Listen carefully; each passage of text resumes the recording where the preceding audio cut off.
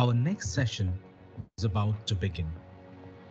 May I request you to kindly mute your microphones and wait as we prepare for the session. Thank you.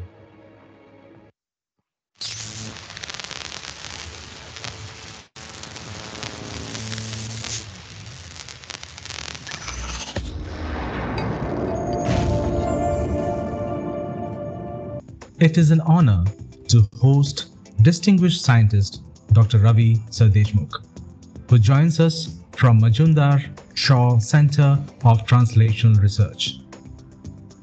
After having completed his PhD in biochemistry from Center for Cellular and Molecular Biology, Hyderabad, Dr. Ravi went to Washington University Medical School for postdoctoral research. There, he also worked as a visiting scientist at the National Institute of Health USA. For more than two decades, he worked at CCMB. He held the position of director grade scientist while heading the proteomics lab at CCMB. Later, he joined the Institute of Bioinformatics as a distinguished scientist. Presently, he is associated with neuro-oncology research at Mazumdar Shaw Center of Translational Research. In India, he has been the flag bearer of proteomics research and education and has been the founder president of Proteomics Society India. He is also associated with some of the international research initiatives in proteomics, such as Membrane Proteomics Initiative by Asia Oceania chapter of HUPO and the ongoing chromosome-centric human proteome project initiated by HUPO.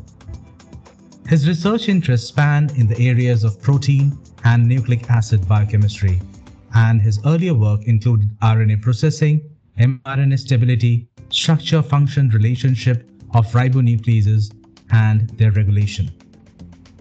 With this, we would like to invite Dr. Sirdeshmukh for his lecture.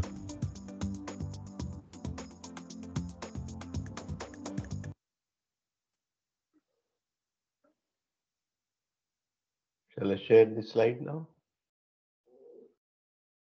Let's welcome Professor Ravi for his talk. Sir, you can share your screen and start presenting. Can you see it? Hello? Yeah, not yet, sir.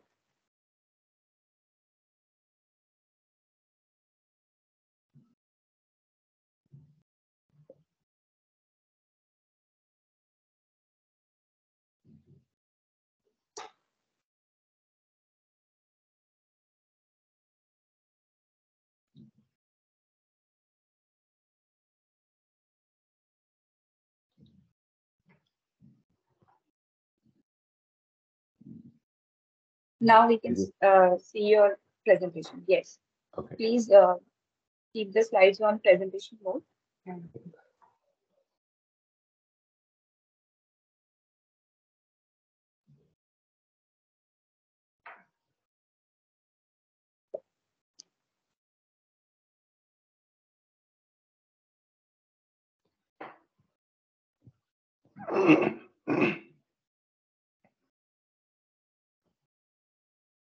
Okay. Is it okay? yes, sir. Yeah. Please continue. Yeah. So, uh, good evening, everyone. And uh, thank you, uh, Dr. Sanjay Srivastava, for uh, calling me on this uh, occasion and talking to all of you. Um, I also thank for the uh, introduction.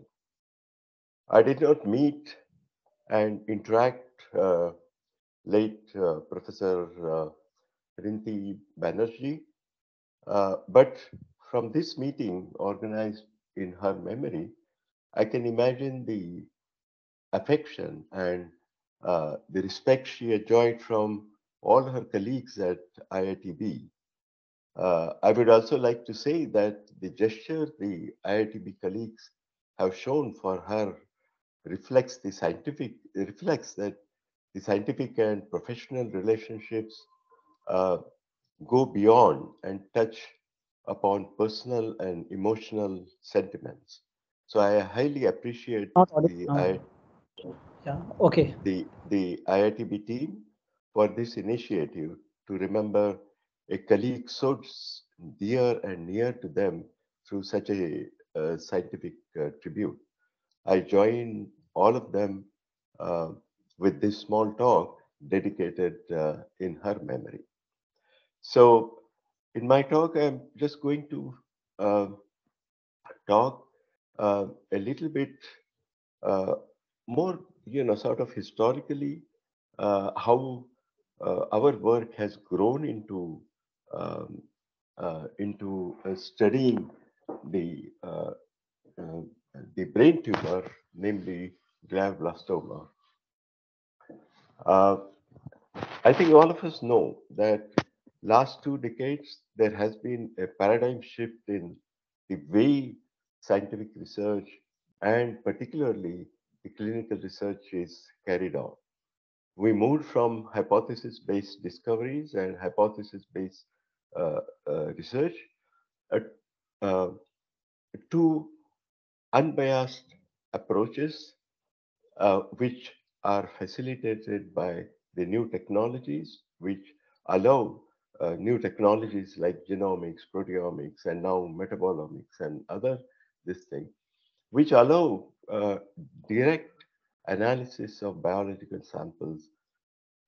It could be tissues or body fluids. So uh, omics approaches have really taken the main stage in clinical research and have helped in understanding several aspects of uh, the human disease. For example, we know that when it comes to disease, patient heterogeneity is one of the uh, challenging uh, problems, uh, and omics profiles do help in stratifying patients, uh, whether it is for treatment response or risk for uh, a particular disease or uh, some variations in the disease and. Um, when it comes to disease like cancer, intratumoral heterogeneity is another big challenge that uh, the researchers face. And now omics has moved from, uh, you know, from the level um, uh, that was uh, where, where in the beginning tissues were being analyzed, but now one can do uh, even uh, analysis at the level of single cells. And that really uh, tells us how uh, molecular heterogeneity spreads within the tissue. Uh, recently, there have been a lot of attempts and uh, successes in trying to connect molecular profiles with anatomic regions uh, or even physiological regions which are reflected in histological and radiological images. And that is going to take, uh, take us to a stage where one can uh, really understand uh, disease, particularly case of cancer in three dimensions and this thing. So we have been uh, working in primary on primary brain tumors, namely gliomas and glioblastoma for several years. And uh, we use uh, multiomics, molecular profiles, ask a clinical question, uh, select some of the differential molecules, uh, try to cross-check them, validate them against a particular clinical question that we see and make some kind of interpretations, both to understand the biology of the tumor as well as uh, think if we can uh, develop some uh, applications for uh, this thing. And I've been doing, as it was told in the introduction, right now, I've been carrying out and pursuing this effort through two centers, Institute of Bioinformatics, as well as Mazumdar Shaw Center in Bangalore. Institute of Bioinformatics, quite a few of them, a uh, few of you would know that it's a private, non not-for-profit R&D organization.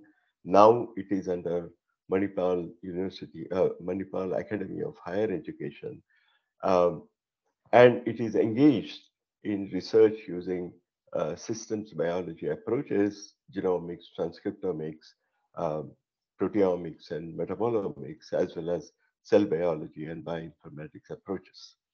There have been uh, some major contributions uh, from uh, international contributions from IOB, particularly to mention is uh, the uh, uh, is unraveling the human um, protein reference database as well as the draft map of human proteins some a few years back.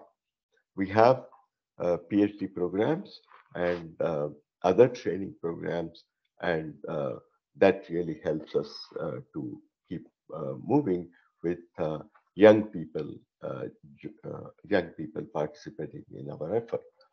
The other organization, Mazumdar Shaw Center for Translation Research, it's more focused on translation.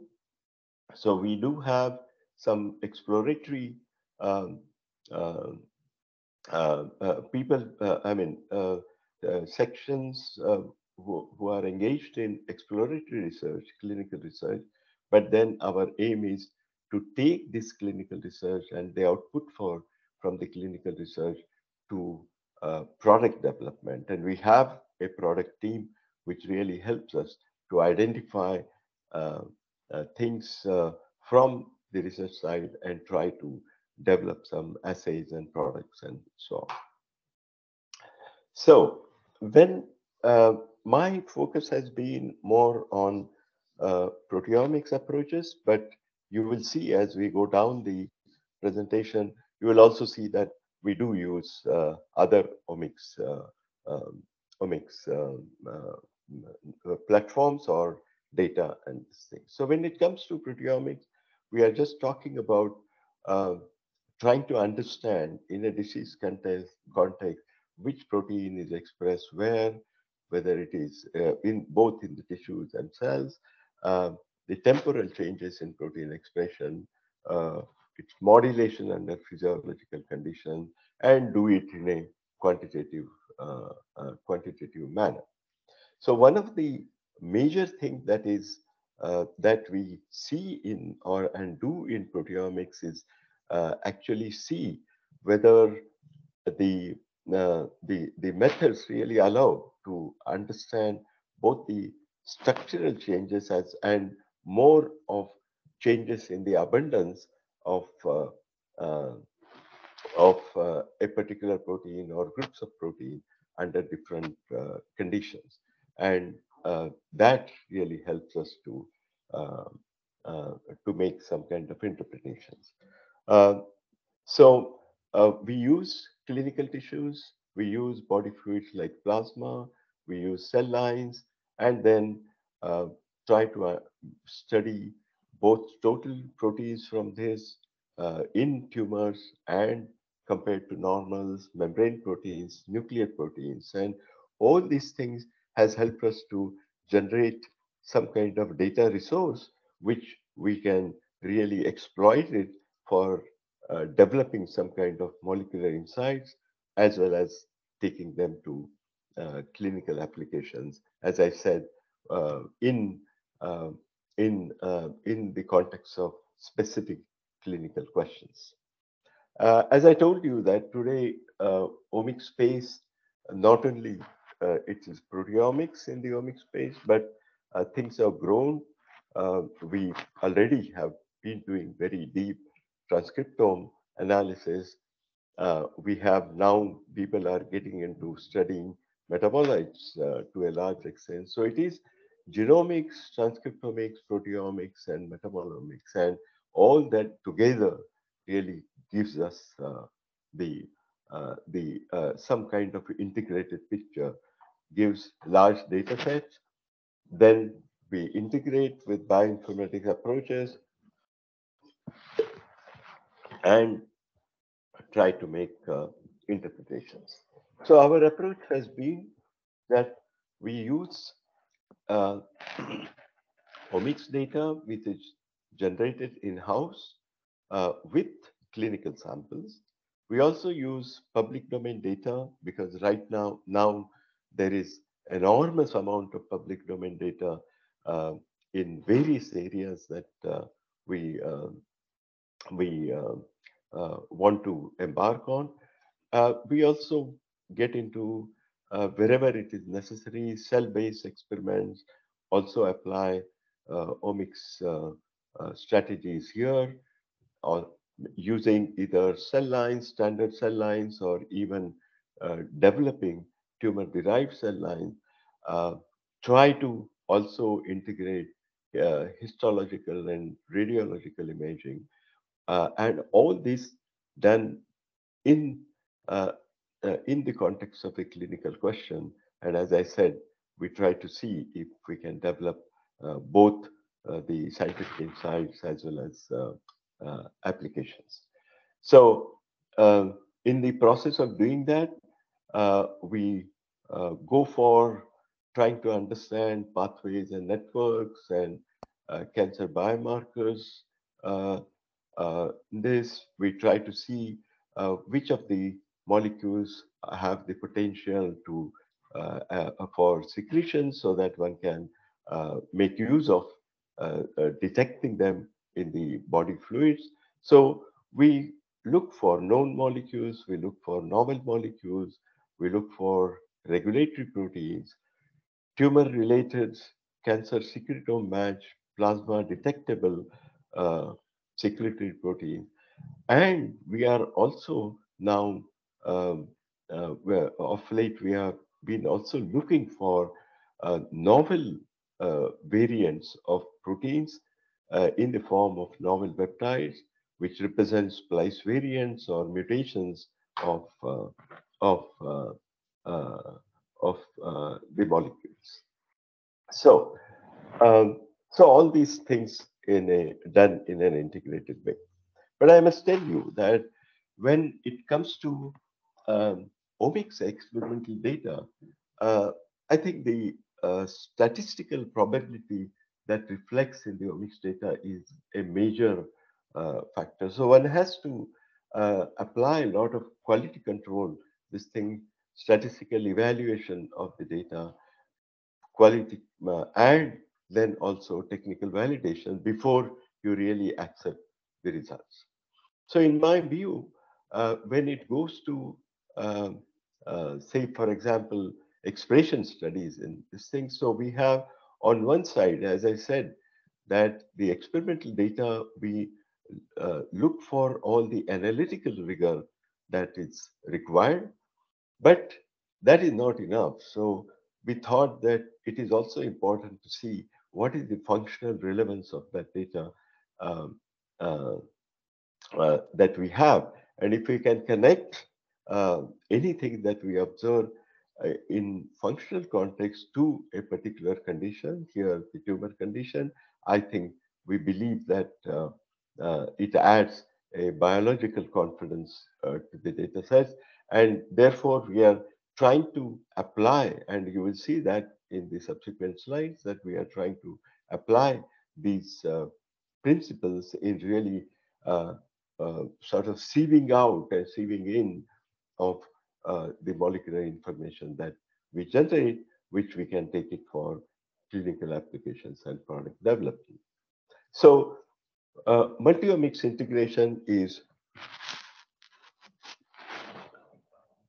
something which uh, people are now trying. We are also trying to see how the and here we come to prote um, multiomics where where we try to see how the proteome, transcriptome, and the microRNAs, which are regulatory factors uh, for the expression of these expression changes of this, how uh, they can be integrated.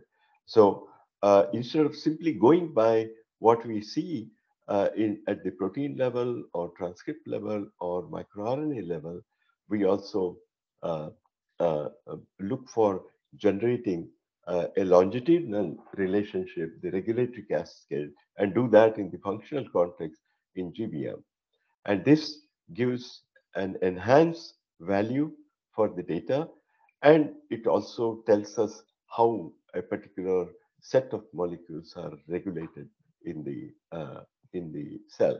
So as I mentioned that we not just stop at one omics level, but we try to whatever data we uh, get, both public using public domain data as well as the in-house data, we try to develop these cascades um, of all these molecules. So uh, you can see here that the data sets will be related in horizontal direct, uh, dimension in uh, with respect to all the different various functions and in the longitudinal directions in the regulatory um, context. And this way you can generate what uh, we call as two-dimensional molecular map uh, for um, for the data sets.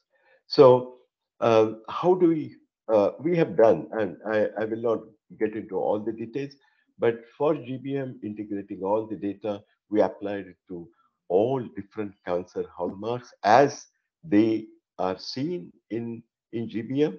And uh, we have a kind of snapshot of microRNAs and protein uh, transcripts and proteins, the target targets of uh, the microRNA, expression targets of microRNAs, uh, various microRNAs. And not only we have an integrated snapshot, but we have it for every process uh, that is uh, separately for every process which um, uh, which uh, uh, goes for goes as the hallmarks of cancer.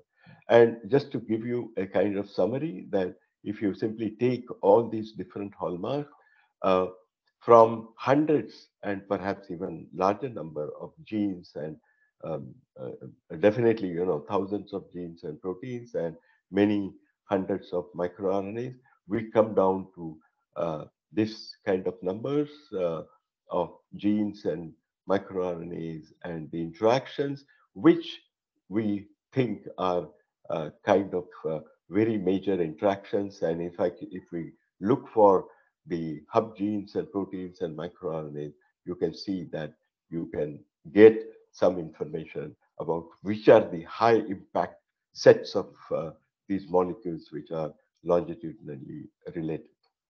So um, I will not go into the details of this particular slide, but it tells us, you know, what are the kinds of uh, uh, microRNAs and uh, and proteins and genes which are involved, which pathways are involved, which pathways are, which cascades are involved in all different hallmarks, which cascades are involved in some hallmarks or a specific hallmark, and a lot of information that can be uh, got into this.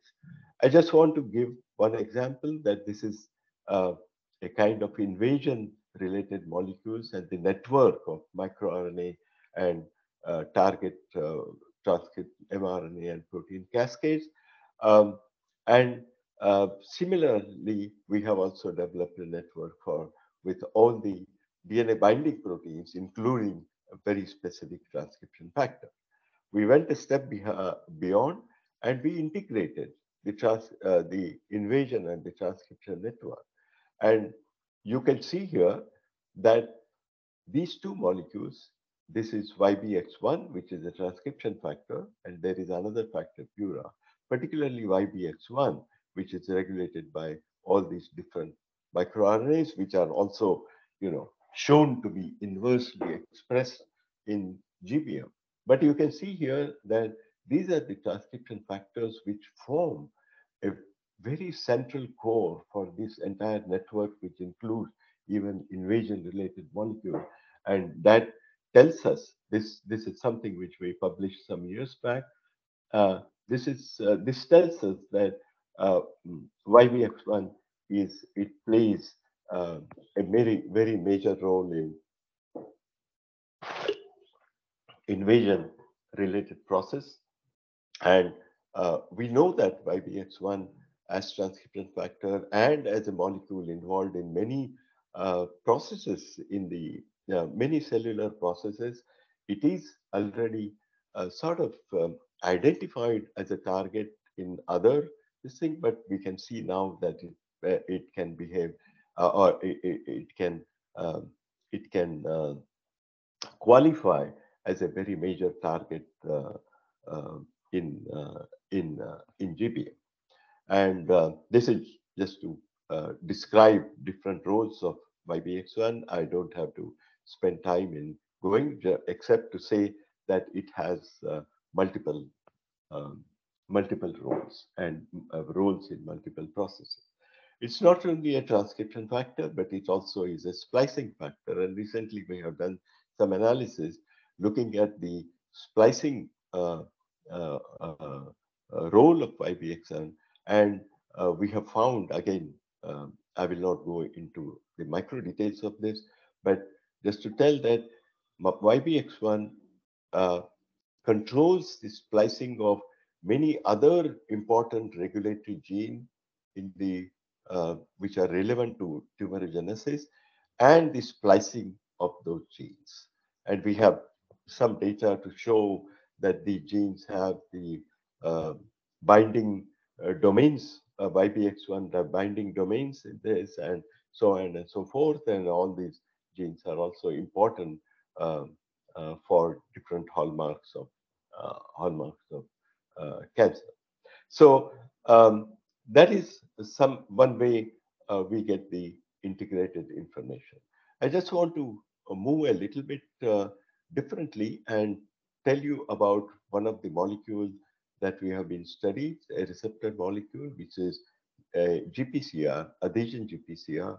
And uh, we have done some uh, cell-based, uh, not, um, not only we have analyzed this in, in the tumor, but also we have done some cell-based studies and just to keep things short, we want to, uh, I just want to say that uh, this particular receptor and its interactor, TG2, which is a, an ECM protein, also has roles in TG2 is transglutaminase.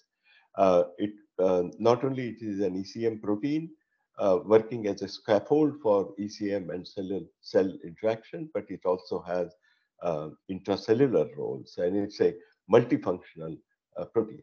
And the interaction of these protein we have studied using uh, GPR, GPCR's 56 knockdown cells and doing multiomics data. And the summary observation is that um, uh, GPCR, in fact, is um, expressed heterogeneously in the tumor. Eh, but important thing is that uh, its expression and the expression of TG2 are reciprocally related in all these different areas or um, areas of the tumor, uh, particularly in the hypoxic areas of the tumor and um, uh, uh, the molecular data that we have generated using this cell line, it amounts to suggest, not only just suggest, but also gives a lot of support to say that this interaction is at the base of uh, uh, uh, transition of the proneural type of cells, which are equivalent to epithelial uh, cells in the uh, in other solid tumors, to mesenchymal type. And you know that the mesenchymal type of cells are more migratory. They contribute to invasion, migrations, and uh, spread of the tumor. So uh, this is a, a, paper which is uh, recently in press in Frontiers in Oncology. Uh, it should be out uh, sometime this week or uh, next week. So we want to take all this molecular data that um, suggests us that its role in mesenchymal signatures and um, see whether this can be uh, taken to some uh, kind of application, not only to find some target, but one of the things is that when uh, tumor after treatment, after surgery and um, radiation and chemo treatment when the tumor recurs, it actually GBM recurs as mesenchymal type. So, uh, which is very aggressive, which is treatment resistant and things. So we thought that we can use these uh, uh, these markers, particularly those candidates which are secretory thing, and try to use them uh, as surveillance markers, and we are moving uh, in that uh, that direction. So not only we can see upregulated protein, the secretory candidates, which can uh, be taken in the surveillance mode, but you can also take downregulated uh, proteins and sort of uh, translate them or use the surrogate, uh, so uh, uh, use the regulatory microRNAs, which would be upregulated as surrogate, and then also use them for uh, surveillance of uh, the uh, recurrence. so that is, you know, that is how we even the cell-based experiments can lead to some kind of clinical application. I just want to spend a few, take, um, give you a few slides to tell you that we are looking for novel um, proteins and expressions in the tumor. And we have developed a pipeline doing using some deep proteomics and deep uh, RNA-seq uh, data for this. And we all know that um, apart from the canonical or expression of canonical proteins and mRNAs, there are also variants, variants which originate from alternative splicing, expression of um, intra or novel expressions uh, originating from expression of intronic regions, expressions from uh, untranslated regions, pseudogene expressions, frame shifts, and fusion genes, and things like that. And um, uh, we uh, we had developed. Only thing is, I think Sanjay, how much you can I have? A few minutes or how is it? How am I doing? Hello. Okay. Uh, sir, you have five minutes more. Oh, oh, no problem. Okay. So, uh, uh, uh, just to make things simple and also uh, uh, uh, quick, let me tell you that when it comes to protein expression, we are taking protein expression, so protein identifications. We are not stand in a standard way. We are identifying proteins in the form of tryptic peptides, which match to theoretical tryptic peptides of different proteins and the databases which are uh, but then how do you identify these novel peptides? And the, for, for novel peptides, then what we do is that whatever data which is remaining, which does not map to the canonical peptides and canonical sequences, protein sequences, you can use that data to identify uh, novel peptides. And for that, we use, we take the transcriptome, translate it in silico in three frame or six frame, and uh, uh, uh, further digest it with trypsin again in silico and you make a custom database of tryptic peptide which may include all those different uh, events that I talked about in the previous uh, slide and then match this residual spectra to this kind of uh, theoretical spectral candidates and identify what uh, can be uh, defined as novel peptides. Then you map them to protein coding sequences if it happens to be an, uh, a new exon or um, uh, different splice junction and things like that. Or you can uh, even map them to novel non-coding sequences in the in the genome. And we have a, a large number of uh, uh, so there is a very uh, elaborate pipeline uh, to to really to get this capture this information. I will not go into that, but just to tell you that this pipeline we applied in the beginning to breast cancer, and the paper is already in press for molecular in molecular cellular proteomics, and we identified uh, using the public domain data because we don't work on breast cancer. Uh, novel peptide, a full landscape of novel peptides literally uh, uh, hundreds and close to thousand well-validated novel peptide. and then we look for their significance, and we uh, we found from this six novel peptides whose high expression was found to be associated with poor survival of uh, one particular subtype of breast cancer. The point here to make is that you can really do these analysis and try to find out the clinical this thing. We are also, we have implemented that for GBM. We are further uh, improving that uh, pipeline to bring more and more confidence. But some of the initial results, again, we see that there are novel variants and novel peptides corresponding to important proteins like uh, NCAM. Uh, this is a synaptic protein, FAP1, and HNRNPB2, which is involved in many, many regulatory processes and events in this thing. And we will be studying the survival association, existence of these peptides in full-length protein, the structural and functional consequences of uh, this protein. In a uh, uh, in a present uh, um, uh, trend, it is moving. As I said, that we don't just stop at the molecular um, molecular um, information, but we also try to relate now. We are doing, we don't have any data right now, but we have ongoing efforts where we are trying to relate molecular uh, data with imaging uh, signal histological feature using computational approaches and uh, and trying to see if uh, we can uh, get some useful information.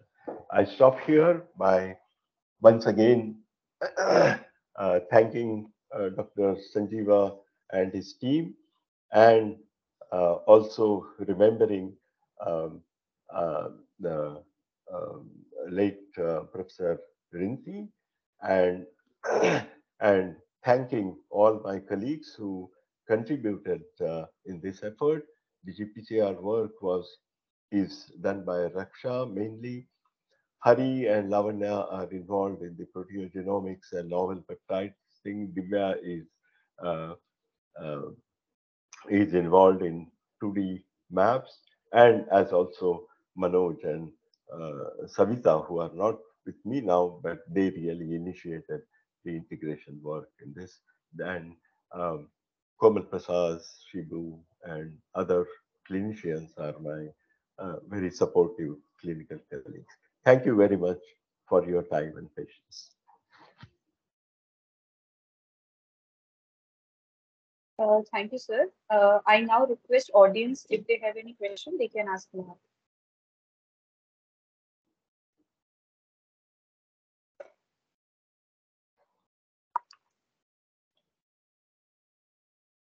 Uh, sir, actually, I have just uh, a question for you. Uh, in your uh, novel uh, peptides part, uh, yes. you showed some some peptides that uh, they have come novel in your research. Uh, -huh. So, uh, like you have done the transcriptomics analysis, and then you have used like created a customized database and used that database for the protein identification. Is it correct? Mm -hmm. Right. Right.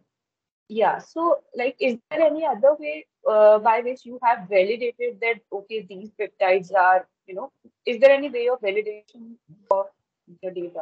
yes, yes. There are various ways, and it's very important uh, to show that these peptides that you are identifying, particularly those which are in the non-coding regions and uh, because you don't know whether they are real or some kind of false identification. There are multiple ways you can do that. There are bioinformatics ways. Uh, one thing is we have applied some bioinformatic ways where we have used some of the validation tools uh, uh, that are available uh, to see. For example, one tool is uh, just to take these novel peptides, research them by shuffling sequences and this thing and see whether you can you can uh, so do it in a targeted way in silico uh, shuffle the sequences and see whether the spectra really match uh, and pick up the same sequence or not. That is one uh, way of doing it. There are also some new validation tools based on AI and ML approaches, uh, where uh, you know based on large amount of uh, experimental spectra from synthetic peptides or other tryptic peptides, um, one can make, given a sequence, one can, or the tool can predict, um, um uh, predict uh, uh, the spectra, and then you can see whether your spectra match uh, with those predicted spectra. Okay, that's, that's one thing. The third thing is that you can make synthetic peptides uh, for these sequences and then generate targeted uh, uh, spectra for those synthetic peptides and then see how it is. But you cannot do that with uh, a large number of peptides, but uh, you know, for some selected peptides, uh, you can you can do that. So yes, what you say is right. Um, uh, it is say, for example, we also um, we have done some specific work with NCAM even earlier, and whatever in that case, uh, the exon that we identified or exonic new exo novel exonic peptide that we identified, we um, uh, actually uh, look for whether it is present in the uh, protein that can be or NCAM protein that can be captured from the gel and then see that that peptide is present in that particular uh, gel slice and this thing. So you can, so there are multiple ways, but as you said, validation is extremely important. And that is how uh, the initial output, which gives us thousands, finally, you know, we come down to about 25, 30% of those peptides as we keep applying the different uh, screens at different levels. So there are multiple ways of doing it. And uh, finally, we have to see what is its biological significance. So the kind of survival analysis uh, I, uh, I mentioned that if the peptide sequence shows association with survival and not the parent sequence, that really indicates that there is some kind of biological implication of these peptides. So multiple ways, yes, that's Right, sir. Uh, and other question, uh, since you have showed uh, that you have worked on cell lines and the tumor tissues both, so mm-hmm. like, do you think that the because the GBM is highly heterogeneous tumor, so mm-hmm. do you think working on a cell line because do you think that the cell lines actually mimic the heterogeneity of the actual tumor tissue? Of course, they're not, but like how much we can rely on the cell lines? Yeah, you are you are right. Tumor. Yeah, tumor-derived cell lines um, um, it's a uh, now you know all the standard cell lines are uh, being replaced with tumor derived but as you said it is important. You can't just use any cell line.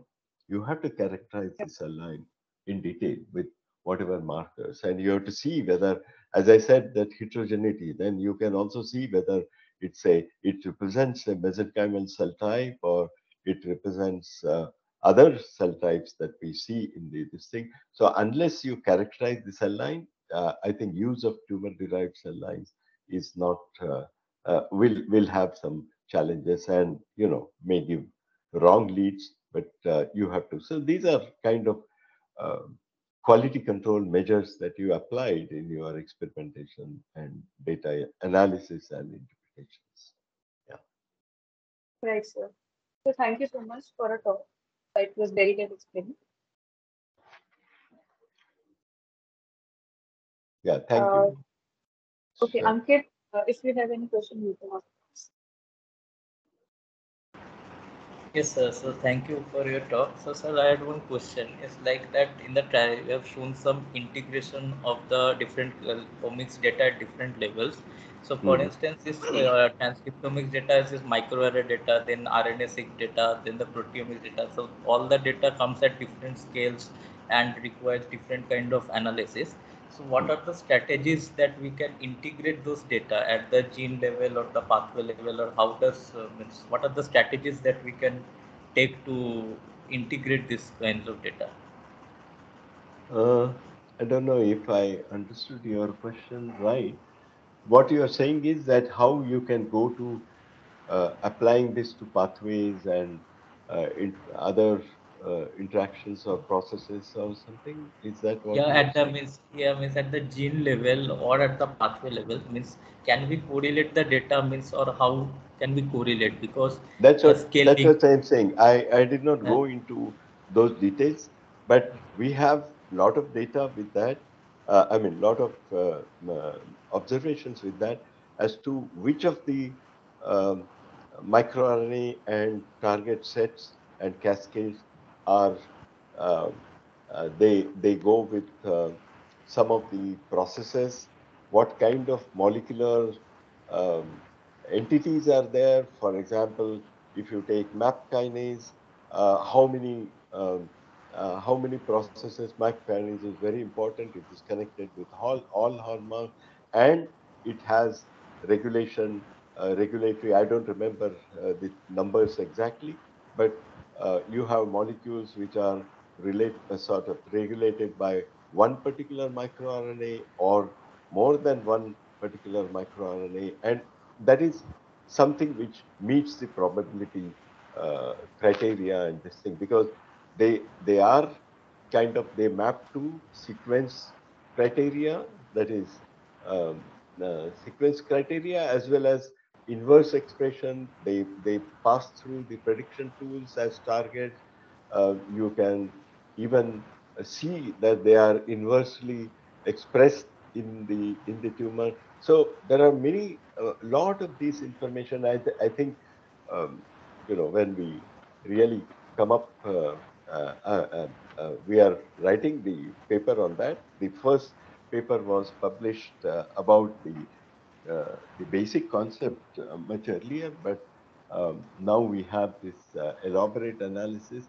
And the quick answer to that is that all these cascades, you will not get everything, but those which map to the defined criteria for building the cascade, those can be aligned with different processes.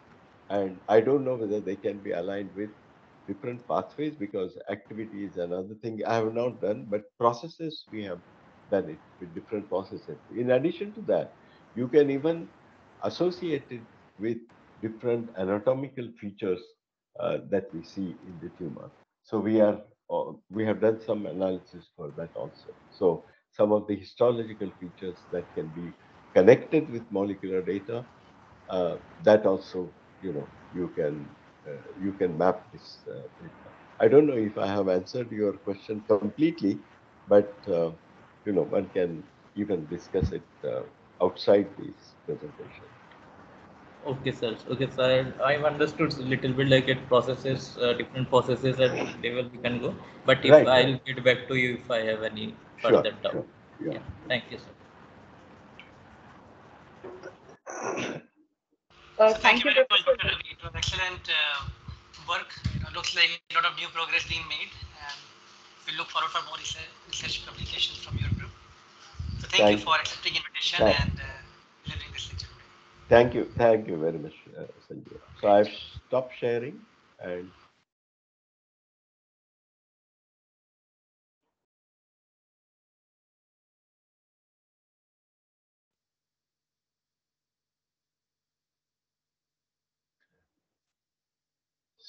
So, ladies and gentlemen, our next session is about to begin. May I request you to kindly mute your microphones and wait as we prepare for the session. Thank you.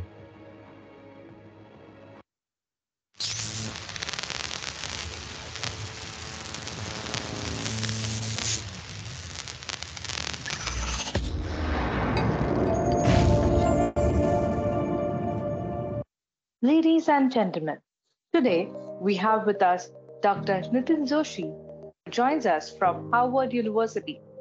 Dr. Nitin Joshi is an assistant professor at Harvard Medical School and an associate bioengineer in the Department of Anesthesiology, Perioperative and Pain Medicine at the Brigham and Women's Hospital. Dr. Joshi obtained his PhD degree in biomedical engineering from Indian Institute of Technology, Bombay, under the mentorship of late Professor Rinti Banerjee. He did his postdoctoral fellowship at Brigham and Women's Hospital with Dr. Jeffrey Karp. Dr. Joshi's research work has been published in top tier journals, including Nature Communication, Science Advances, Nano Today, Biomaterials, and Journal of Controlled Release, and has been highlighted by multiple media outlets and scientific journals around the world. He has received multiple awards for his work, including MIT's Technology Review Magazine India Award, Lockheed Martin Innovation Award, Boston Patent Law Association 2020 Invented Here Feature Honorary Award. Ladies and gentlemen, please join me in welcoming Dr. Nitin Joshi.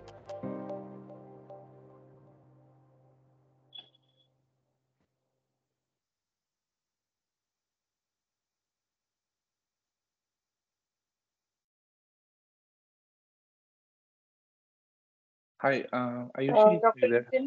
Yes, sir. Yeah. Over to you. Yeah. Yeah. Yeah, thank you. Should I share my slides? Hi, Nitin. Welcome to the yes, conference. Hi, Professor Srivastava. How are you? Thank you so much. Well, thank you. How are you? I'm good. I'm good. Thank you. And thank you for inviting me today. Let me share the slides quickly.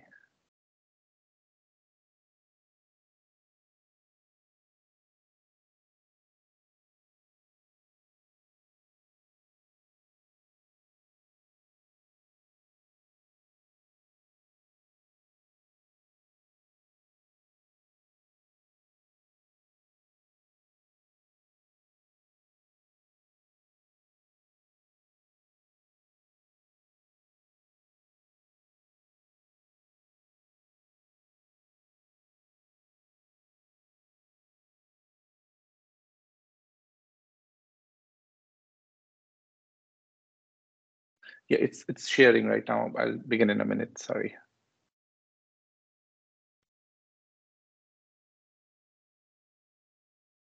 That's okay, sir. Okay, thank you.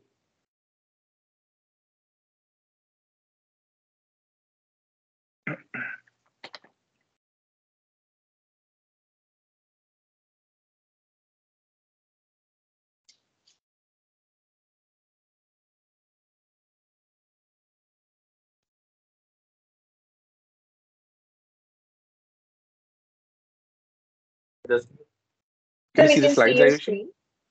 Okay. Yes. Sir. Okay. You, you see the full mode, presentation uh, presentation mode, right? Yeah. Yeah. Okay. Okay. Great. Please continue. Just okay. Just give me one second.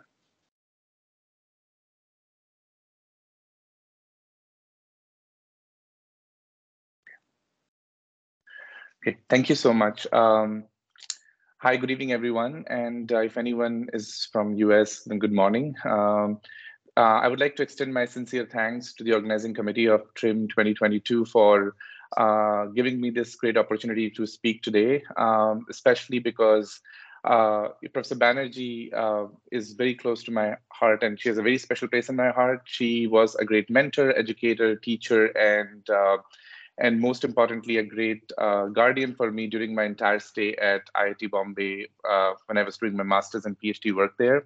I believe she's uh, the one because of which I actually ventured into translational medicine research, and um, and she sort of uh, also shaped my interest into academic research. I believe.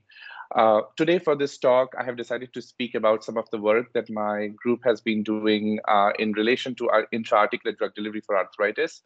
And I decided to choose to speak about this work uh, because uh, this was also of huge interest to Professor Banerjee. Her lab used to work a lot in this area back in 2013 and before that when I was in my PhD there.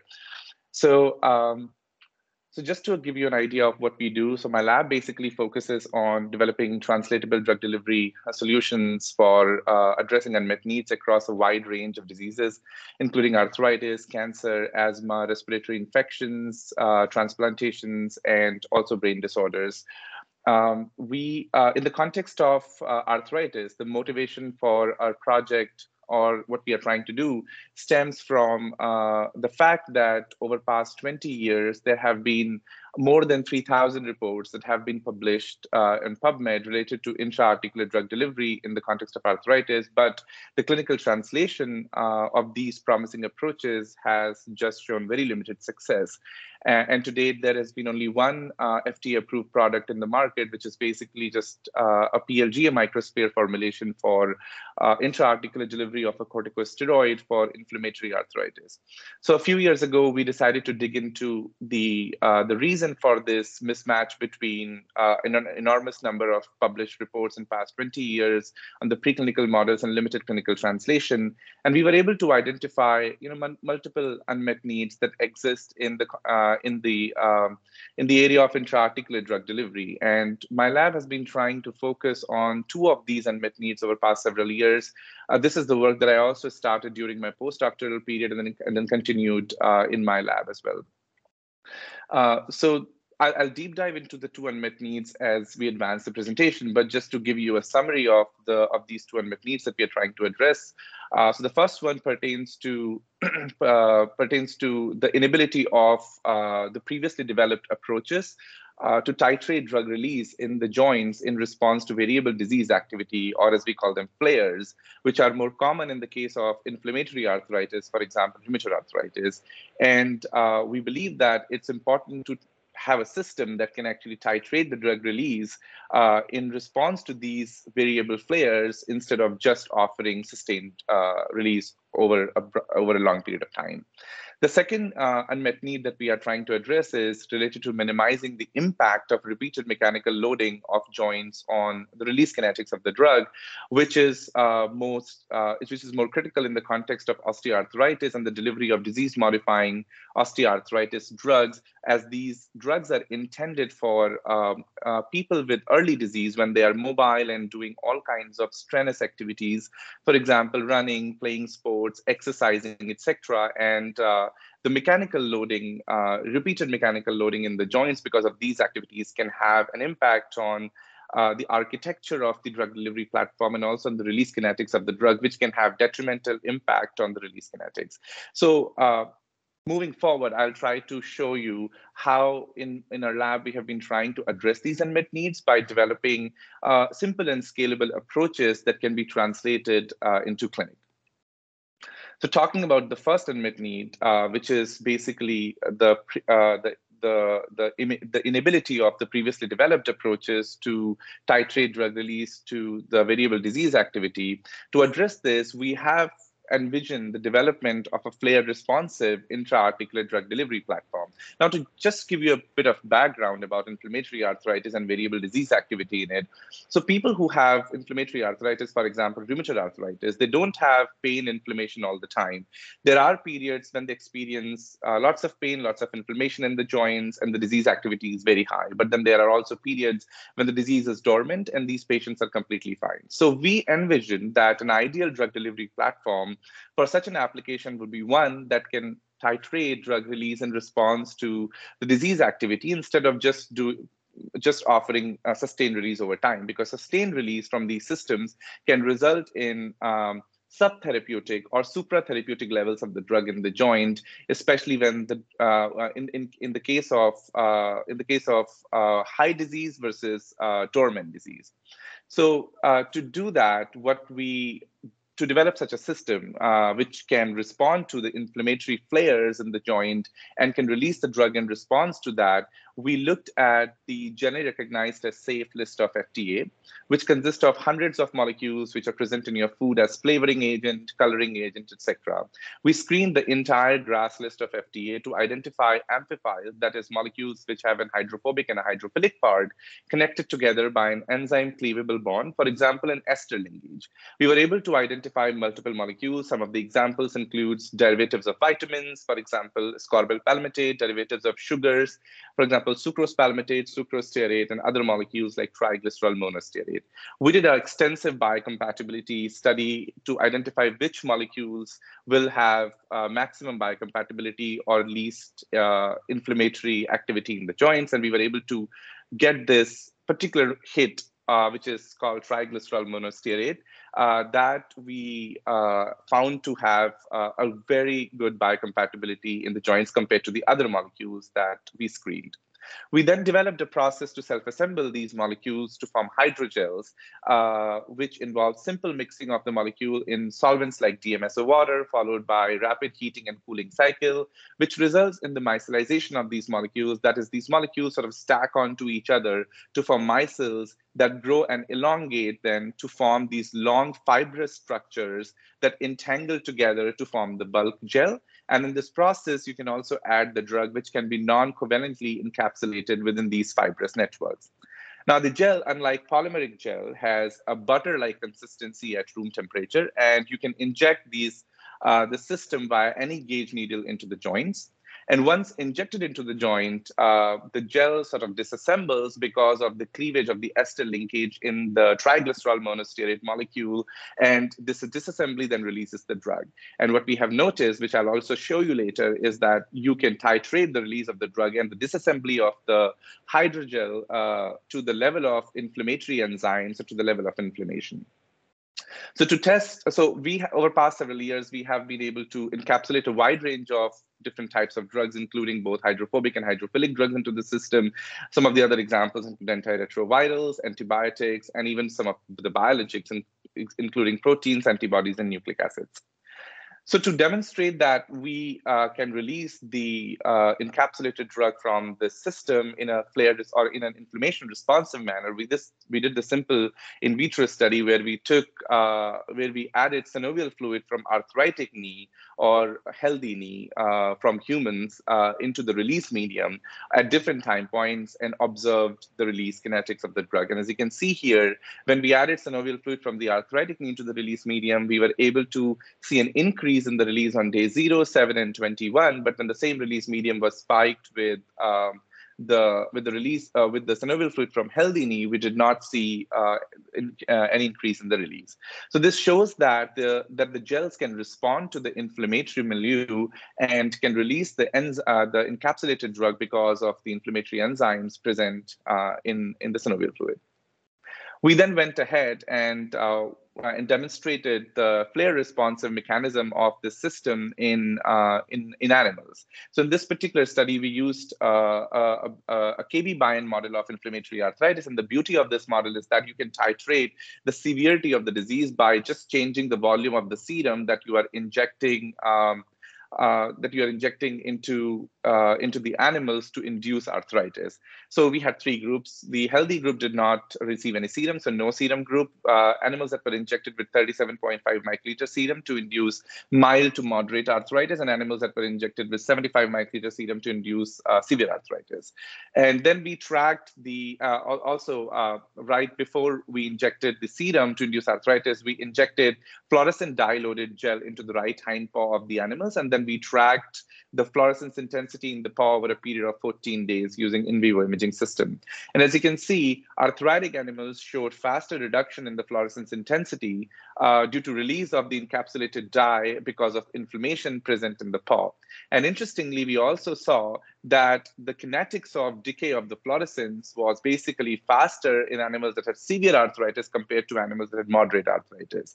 So this happens because severe animals, severe arthritis animals have more expression of the enzymes in their paws, which results in more disassembly of uh, the gel and hence more release of the drug, and hence a faster reduction of the fluorescence intensity compared to the moderate arthritis animals.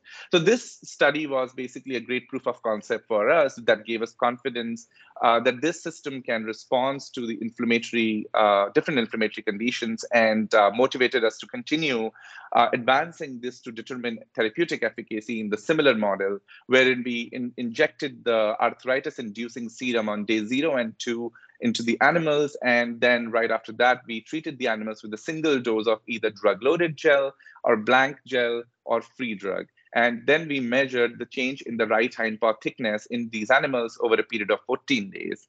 And as you can see in the right um, uh, in the uh, in the in the bottom right corner, uh, uh, in the case of animals that were treated with drug-loaded gel or TA gel in this case, we did not see any inflammation for the period of 14 days. But animals that were treated with free drug, we saw similar inflammation as blank gel, which is expected as free drug uh, just leaves the joint within a day and does not uh, demonstrate any therapeutic efficacy.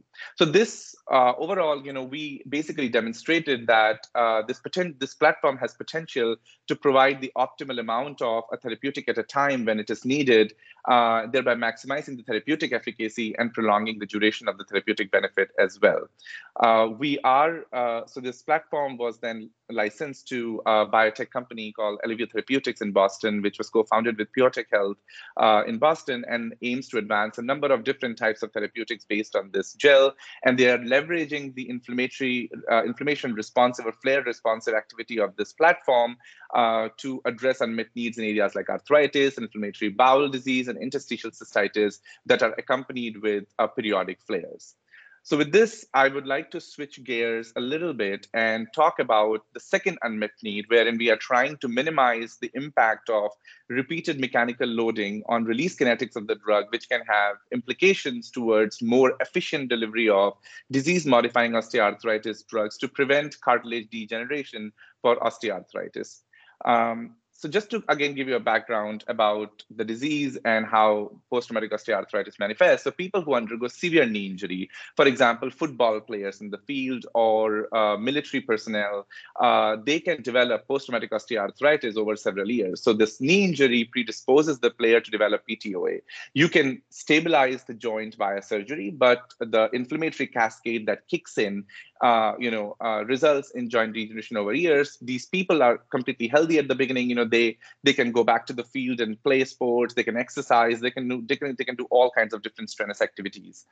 Um, so the current treatment strategy for these patients uh, is basically, uh, you know, just like uh, acetaminophen, NSAIDs, or intra-articular corticosteroid or hyaluronate injections that can only relieve the symptoms. So none of these treatments essentially uh, stop disease progression, and eventually knee replacement surgery is needed. Now, over past few decades, uh, there has been incredible progress in our understanding of the disease pathology or biology behind PTOA progression, which has resulted in a, a new class of molecules, which are drugs, which are called disease-modifying osteoarthritis drugs, or DMODs in short. These are basically either small molecules or macromolecules that can either inhibit certain pathways uh, that are involved in disease progression or can upregulate certain mechanisms that can prevent the disease uh, progression. Uh, but the thing here is that these DMODs have shown great promise in preclinical models in uh, especially in mouse, rabbits, and rats, but the clinical translation has been very challenging uh, which is because of the fact that oral and intravenous administration of these agents often result in low concentration in joints and high concentration in blood.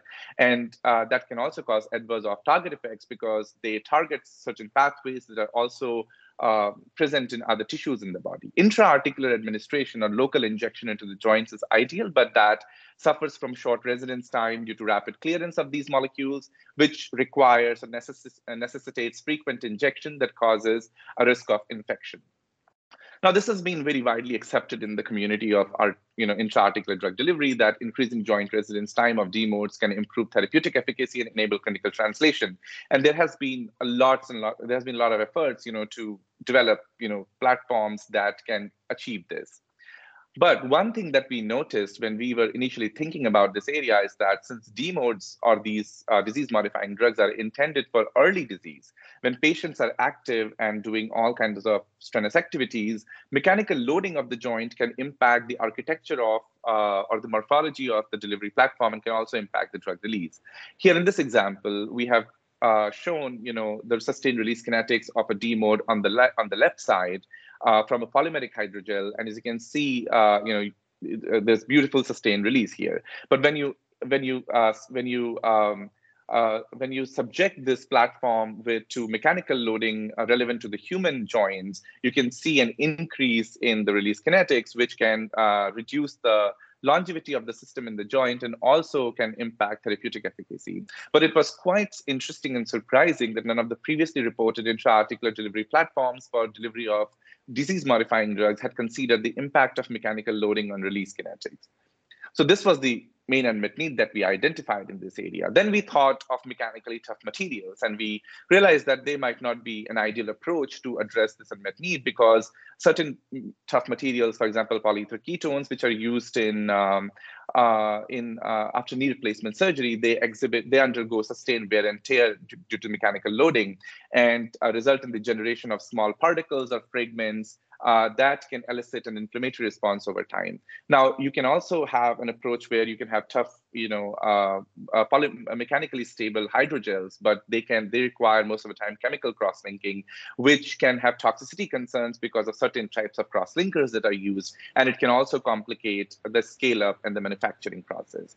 Soft materials are really ideal for these applications because they can also offer lubricating effects uh, in the joint, which has been previously shown to have a beneficial impact in terms of reducing the disease progression. But the issue with soft materials is that architecture gets damaged because of repeated mechanical loading, and that can impact the release kinetics, as I showed you before. So we uh, uh we decided to leverage uh, the self-healing behavior, or what we call thixotropy, of low molecular weight uh, gelator-based hydrogels. So certain types of low molecular weight gelator-based hydrogels have shown to exhibit, you know, dynamic self-healing behavior. That is, under mechanical loading, they transition to a viscous state, and then uh, when you remove the mechanical loading, they go back to the original gel form. And we hypothesize that such a system might um, uh, such a system might uh, really uh, help with uh, reducing the impact of the repeated mechanical loading. So here is the example. Here is just the hypothesis that I have demonstrated schematically. So if you inject this, such a system into the human joints and they're running, the system will transition to a viscous liquid and when they when the person goes back to the resting conditions the system goes back to uh, being a gel. And this could uh, and and and this gel form can have the similar release kinetics as uh, you know as demonstrated originally uh, in in uh, after the after removal of the mechanical loading so to test our hypothesis, we basically mimicked uh, uh, human running onto a rotational rheometer, where uh, we subjected the hydrogel loaded with a disease-modifying osteoarthritis drug, a cathepsin K inhibitor, L006235, to low strain and high strain conditions. So in the low strain, low frequency conditions that were applied for one minute, uh, we basically mimic the resting human joint. And then we applied high strain and high frequency conditions that have been previously reported to be uh, relevant to the running human joint. And these uh, were applied for either 5 or 10 or 15 minutes. And then the gel was brought back to the resting uh, hu uh, human joint conditions. And during this entire period of time, we measured uh, the storage and the loss modulus. As you can see on the bottom left graph, uh, in the in the first uh, in the first minute when we had uh, when the gel was subjected to the low strain low frequency condition we observed higher storage modulus than loss modulus which uh, is expected as it's a gel. And then uh, when we but when we applied high strain high frequency conditions we saw uh, increase in the uh, we saw a higher loss modulus compared to storage modulus which suggests that gel has now transitioned to a viscous liquid state.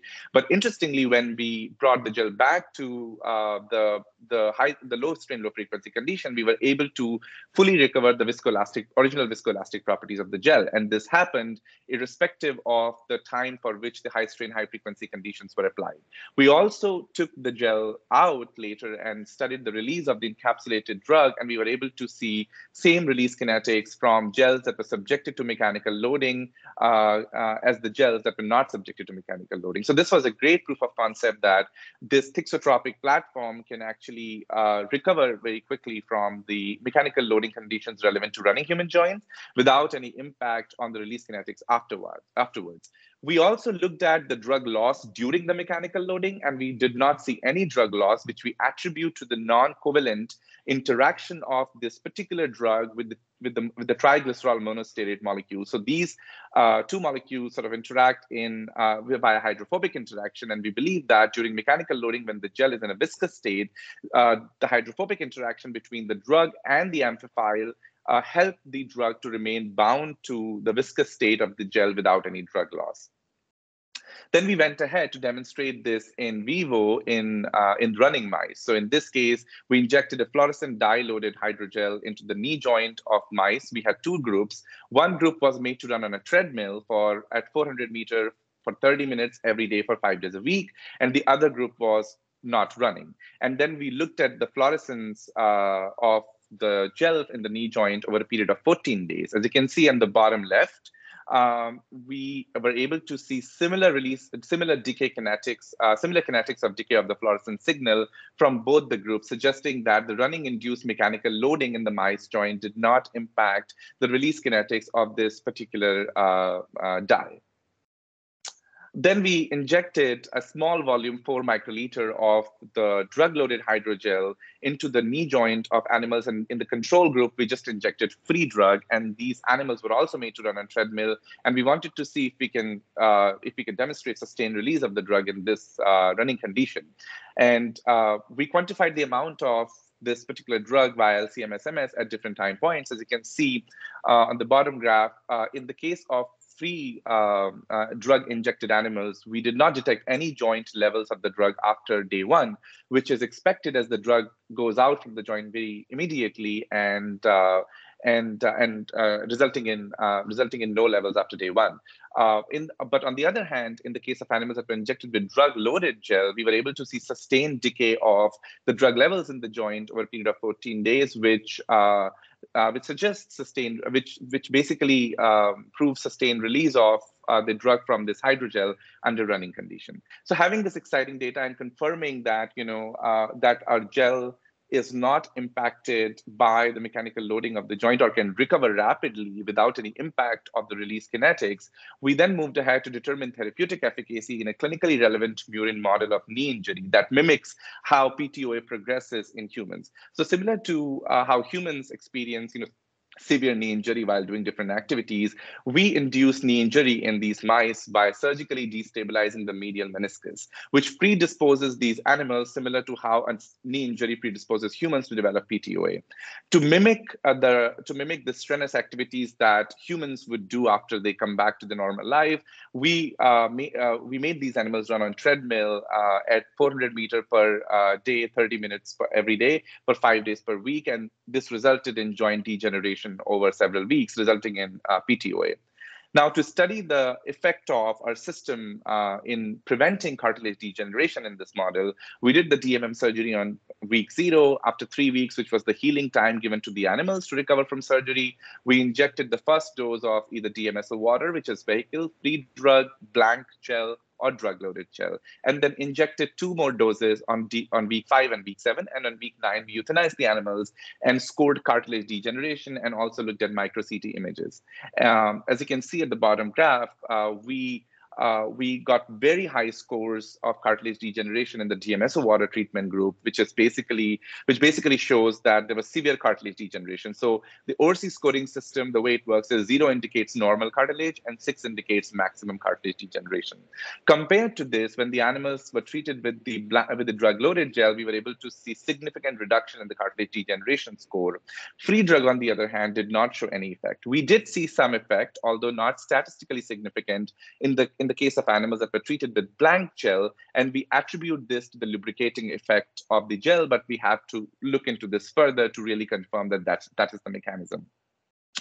And here you can see um, the the you know the representative histology images from the two different groups. As you can see, animals were treated with DMSO water had fibrillation in the cartilage, also clefts forming. But in the case of drug-loaded uh, gel uh, uh, treatment groups, we were able to see smooth cartilage in most of the animals. We also observed greater than 40% reduction in the subchondral bone thickness compared to the DMSO water group in the case of uh, in the case of drug-loaded gel uh, in the uh, drug-loaded gel treatment animals. So all this data basically uh, shows that the non-covalent encapsulation of disease-modifying drugs in a thixotropic hydrogel can be a promising approach for reducing PTOA progression uh, in the active joints, uh, which overall suggests the utility of this TG18 or triglycerol monostearate hydrogel platform to enable efficient uh, intra-articular delivery of DMO to prevent uh, the progression of osteoarthritis in active uh, patients who have early uh, disease.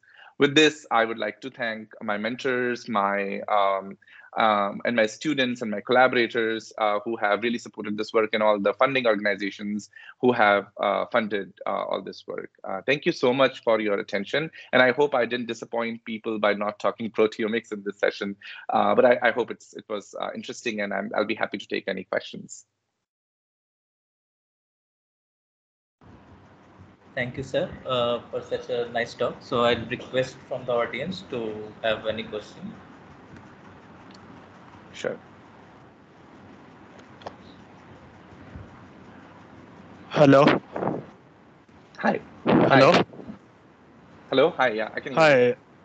Nitin, this is Mukesh. Uh, uh, right now, oh. I'm working with Parveen at Instem. Hi, Mukesh. Hello. How are you?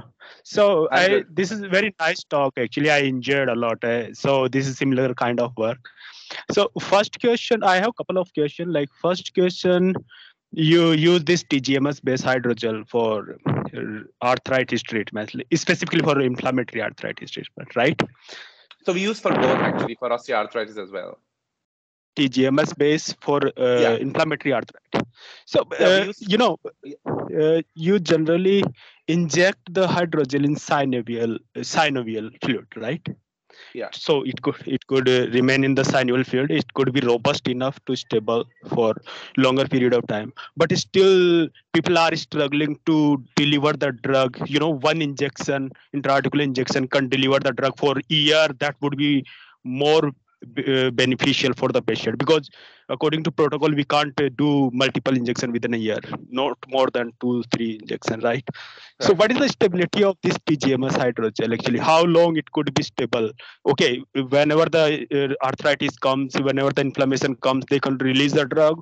And again uh, once it is released and again flare ups down and uh, remain stable. But how long it can remain stable like in the joint? No, yeah, that's that's a very good question actually. So I I uh, I agree that you know the I think the permissible limit you as you said is like two to three injections per year, and uh, and the in the in the very very beginning of my talk I think I mentioned about this FDA approved formulation which is based on PLG microspheres, and I if I remember correctly that works for like you know three months per injection but still not good enough for our system because you know we are releasing the drug only when there's a flare. We do expect the gel to la- to to last longer.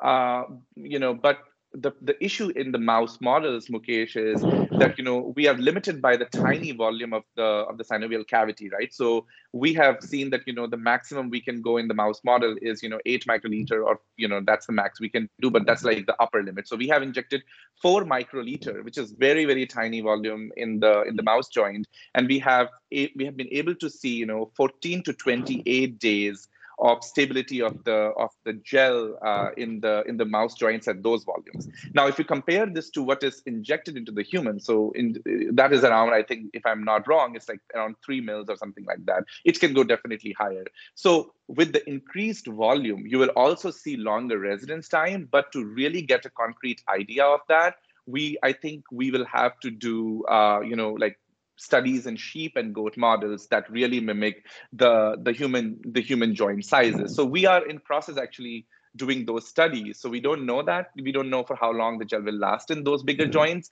uh, but that is something which we are interested to do right now. Right, right. I think porcine or goat model they can give you more concrete exactly. uh, calculation. So uh, actually, one more question is that uh, okay, I agree that uh, TGMS is uh, generally recognized safe molecule, a small molecule, but still you are using DMS. So what is the concern? Uh, I think uh, DMS still have some toxic effect or something like that, No. right? so DMSO is a very, uh, you know, no, is a very uh, normally used uh, solvent in bone and orthopedic applications, actually. Uh, and we have made sure that Yeah, but uh, limits- I think uh, that is a percentage of dmso how much you are Yes. using? Yes, correct. So we are we are using just 20% DMSO in our gel. So we we are we are well below the limits that have been used previously for the for the orthopedic applications in the joints. So that is actually approved. Uh, uh, I think. uh, Yes, yes. Okay, yeah. Uh, one more question, like uh, you also use uh, similar kind of uh, hydrogel for osteoarthritis, right? So Yeah, we use the osteoarthritis is, a pretty different from inflammatory arthritis. You might have injected in damaged part of our uh, cartilage, not in synovial joint. Right? No, Am I so right? yeah, no, so no, no, no. So what we did in this study that we are doing right now is we just injected in the synovium cavity because I think the goal for us is actually to just do a sustained release, and we are hoping that the drug will, you know, like go to the chondrocytes and you know do its work, which we saw in our in vivo studies. But you know, we have another system that we are, you know, sort of working on right now where we are aiming that you know the gel can actually you know like bind to the damaged part of the cartilage so in this study that i showed we injected in the synovium cavity and the aim is to just have sustained release in the synovial fluid and the drug can just enter the chondrocytes does that make sense Okay, okay. Actually, you know, Nitin, I was going through some papers. People are trying to develop some uh, like uh, artificial cartilage kind of hydrogels, polymers. Yeah. So, yeah so these th- thixotropic hydrogel, that is good idea, but uh, I think only TGMS can't make this kind of hydrogel. You might have used some polymer or uh, something blended no, co- co-assembled no, we system. no we have yeah yeah so so one of the things case that we try to do in the lab is just to like keep the approach very simple and elegant you know at the same time. Uh you know if we try to you know do too many you know complicated things that will you know that product will probably never see the light of the clinic you know. So uh so and in this particular and i i, I completely agree that you know if there is a need we have to you know definitely you know use you know polymeric materials and other kind of things there. But in this particular case it was quite interesting that we have been just able to use tgms without any polymeric material. But one thing i would like to clarify here the goal of the hydrogel is not to regenerate like the hydrogel is not acting as a scaffold or anything.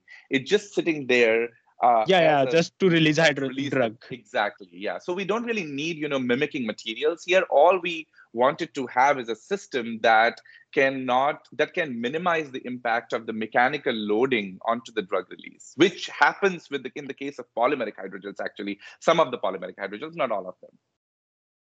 Okay. Thank you so much, Nitin. Uh, uh, I wish you all the best. I think uh. Rinti ma'am, uh, proud of you a lot wherever she is. I I really wish you all the best. Thank you so much. thank Wonderful so much talk. Thank you it was wonderful talking to you thank you Thank you.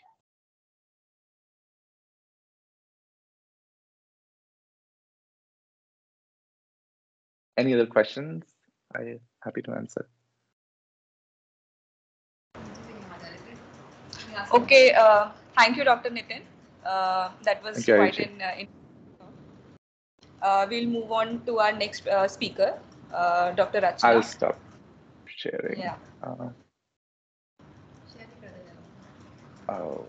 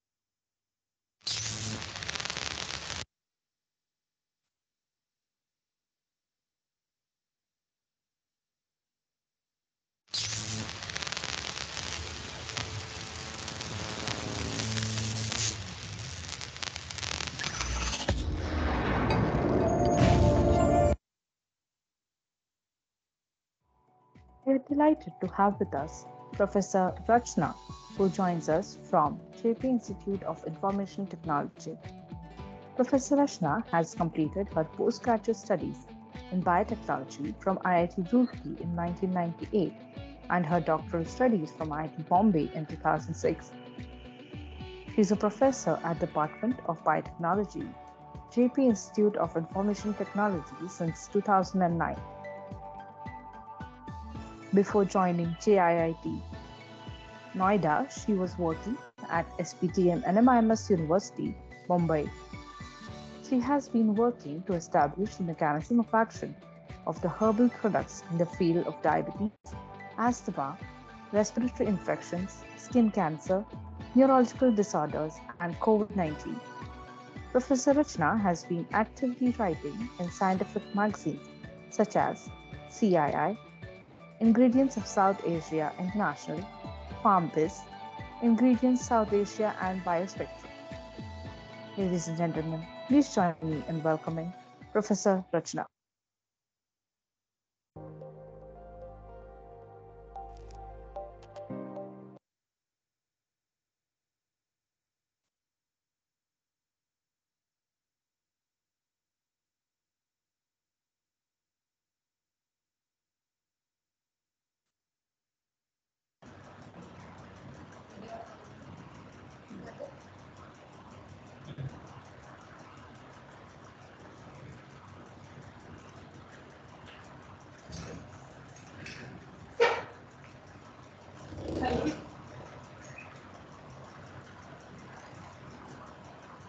Good evening, everyone. Am I audible?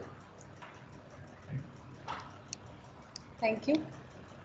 First of all, I would like to thank the organizing committee, Ekta, sir, for inviting me for this talk. And as I told in the afternoon that we are here together just because of uh, Professor N.T. Banerjee.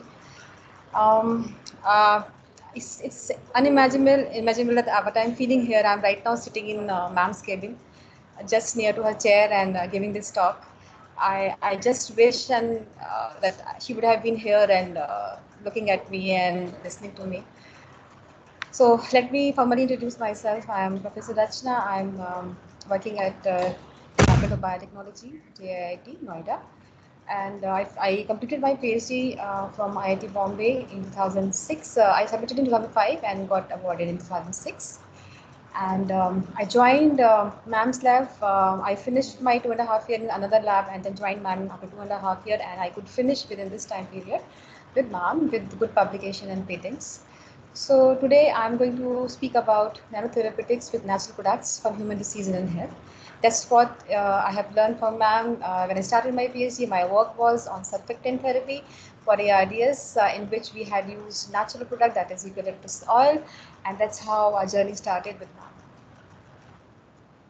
So uh, currently my lab is working on respiratory disorders. I mean, uh, we're working with the nanotherapeutics uh, in the field of respiratory disorders like ARDS, asthma-like conditions, uh, disorders like Alzheimer's disease, diabetes, and skin cancer. And um, uh, why we have chosen this uh, like area like medicine, why medicinal plant or natural product because it is they are believed to be most of the time uh, very much safe and uh, economic. And they also have a multiple target approach. Uh, like it has been seen in western world that the new molecules which are have been discovered so far they have one molecule one uh, target approach most of the time. And in case of uh, herbal product because we have many ingredients uh, naturally or we add them one by one to get multiple target approached so that we can get a holistic approach to treat a particular disorder. And as I said, they are economic, easily affordable by everyone most of the time. And uh, a country like India also have uh, faith in traditional medicines, and we are uh, choosing those uh, products from there and using them for novel therapeutics. And why we are using novel therapeutics that we are discussing a little bit more. I'm sure that nobody needs this kind of basic thing, but for just for the completion of this presentation, I will be speaking a little bit more about the basic and then we'll come to the work which uh, I have done here and then what I'm doing here in the uh, JIIT. So natural products generally are believed to be um, antioxidants and the whole theory starts from antioxidants, oxidant theory. Uh, any disease can be caused if the oxidant level goes high in our body. So if you see this complex diagram, if you see here that uh, we do have uh, nitrogen species generated in our in, in, the cells, we have oxygen species generated in our cells, and these are actually required for normal functioning of uh, signaling mechanism going on in the cells. But obviously, when they actually go up to the a particular threshold value, that they becomes problematic for us. Now to keep them on balance, we do have certain enzymes, molecules who keep them in on the particular level. And uh, one of them is SOD, that is superoxide dismutase enzyme. We have uh, then um, uh, GHS, we, GSH, we have GPX and catalase. So these are some enzymes which actually keep their level down and that's how we are able to balance them and the disease may not occur. But most of the time, because of our lifestyle, because of our stress we take out these days, uh, these go up and then they cause various diseases. Now, what is the direct, uh, there's no SS direct impact uh, with the diseases. Actually, there are two ways, direct and indirect. Direct is that uh, these oxidative radicals will be increasing in the cells and they will cause oxidation of the lipid molecule, DNA molecule, protein molecule, enzymes and everything. And that's how the cell will be harmed. So wherever this is increased level is happening, those area will be harmed. So this is a direct impact. But indirectly, uh, if you, this level goes high, then most of the time pro-inflammatory and inflammatory uh, reaction starts. And then it leads to several more other conditions, complicated condition, which actually leads to uh, the disease condition. So if you see for over here, this hydroxy radical is going high and then it is causing activation of NF kappa beta and then it is causing the um, expression of IL-8 and TNF-alpha, addition molecules and many more. So that's how directly, indirectly oxidative stress is related to disease. So generally what these medicinal plants do or any other antioxidant do, they actually satisfy the unpaired electron present okay, wherever the oxidant uh, radicals have been induced. So they, they pair the electron and that's how the they are satisfied and then uh, the oxidative stress level goes down. To see and again in this diagram that how oxidative stress actually is causing inflammation and inflammation is causing oxidative stress ultimately, if you go down in this picture, you see that uh, all these processes, very important processes of cell proliferation, um, uh, how should I this? So cell proliferation, cell death, cell survival, cell invasion, angiogenesis, cell growth, all these very much essential processes get induced or regulated or get affected because of uh, the oxidative stress and the inflammatory conditions. So you can see in this particular picture that uh, free oxidative, oxidative uh, stress radicals, they can cause disease in any, any organ system or tissue system, heart, skin, kidney, joint, lung, brain, immune system, blood vessel, multi-organ, and eyes and everything else. So that's how it is so important to keep the oxidative stress down. Uh, and I, I, think in this lifestyle that we are living in, we, we have been taking certain things very much knowingly, like we are taking chyawanprash, we're taking green tea, we're taking aloe vera juice, we are having amla juice, all these, these things have we are now introducing in our diet. But naturally, traditionally, if you see, they have been included, they had been included in our diet, at least in Indian diet or Chinese diet, they have been included like a normal diet. Every day we, we, add, we eat a lot of uh, like spices in our food and we also have lots of fruits in our diet. Uh, we have salads in our diet. So this is like normal routine we used to have, but we have now replaced them with the cooked food and then uh, with the processed food. And that's how uh, now it is causing more and more trouble. But now people are getting aware and they are including those antioxidants in their diet. So having this uh, background i can now move ahead. So what all natural phytochemicals we get from this salad or aloe vera or amla or whatever species uh, spices we are having are in the like, form of tannins, lignans, flavonoids, terpenoids, carotenoids, and many more and what from where we get it from as i said fruit vegetable leaves roots and etc and we have been having herbal extract. In the ayurveda we used to take uh, and teas and we also have pills syrup aswas avlehe like chyawanprash so from all these are the sources we, from where we are getting these kind of antioxidants.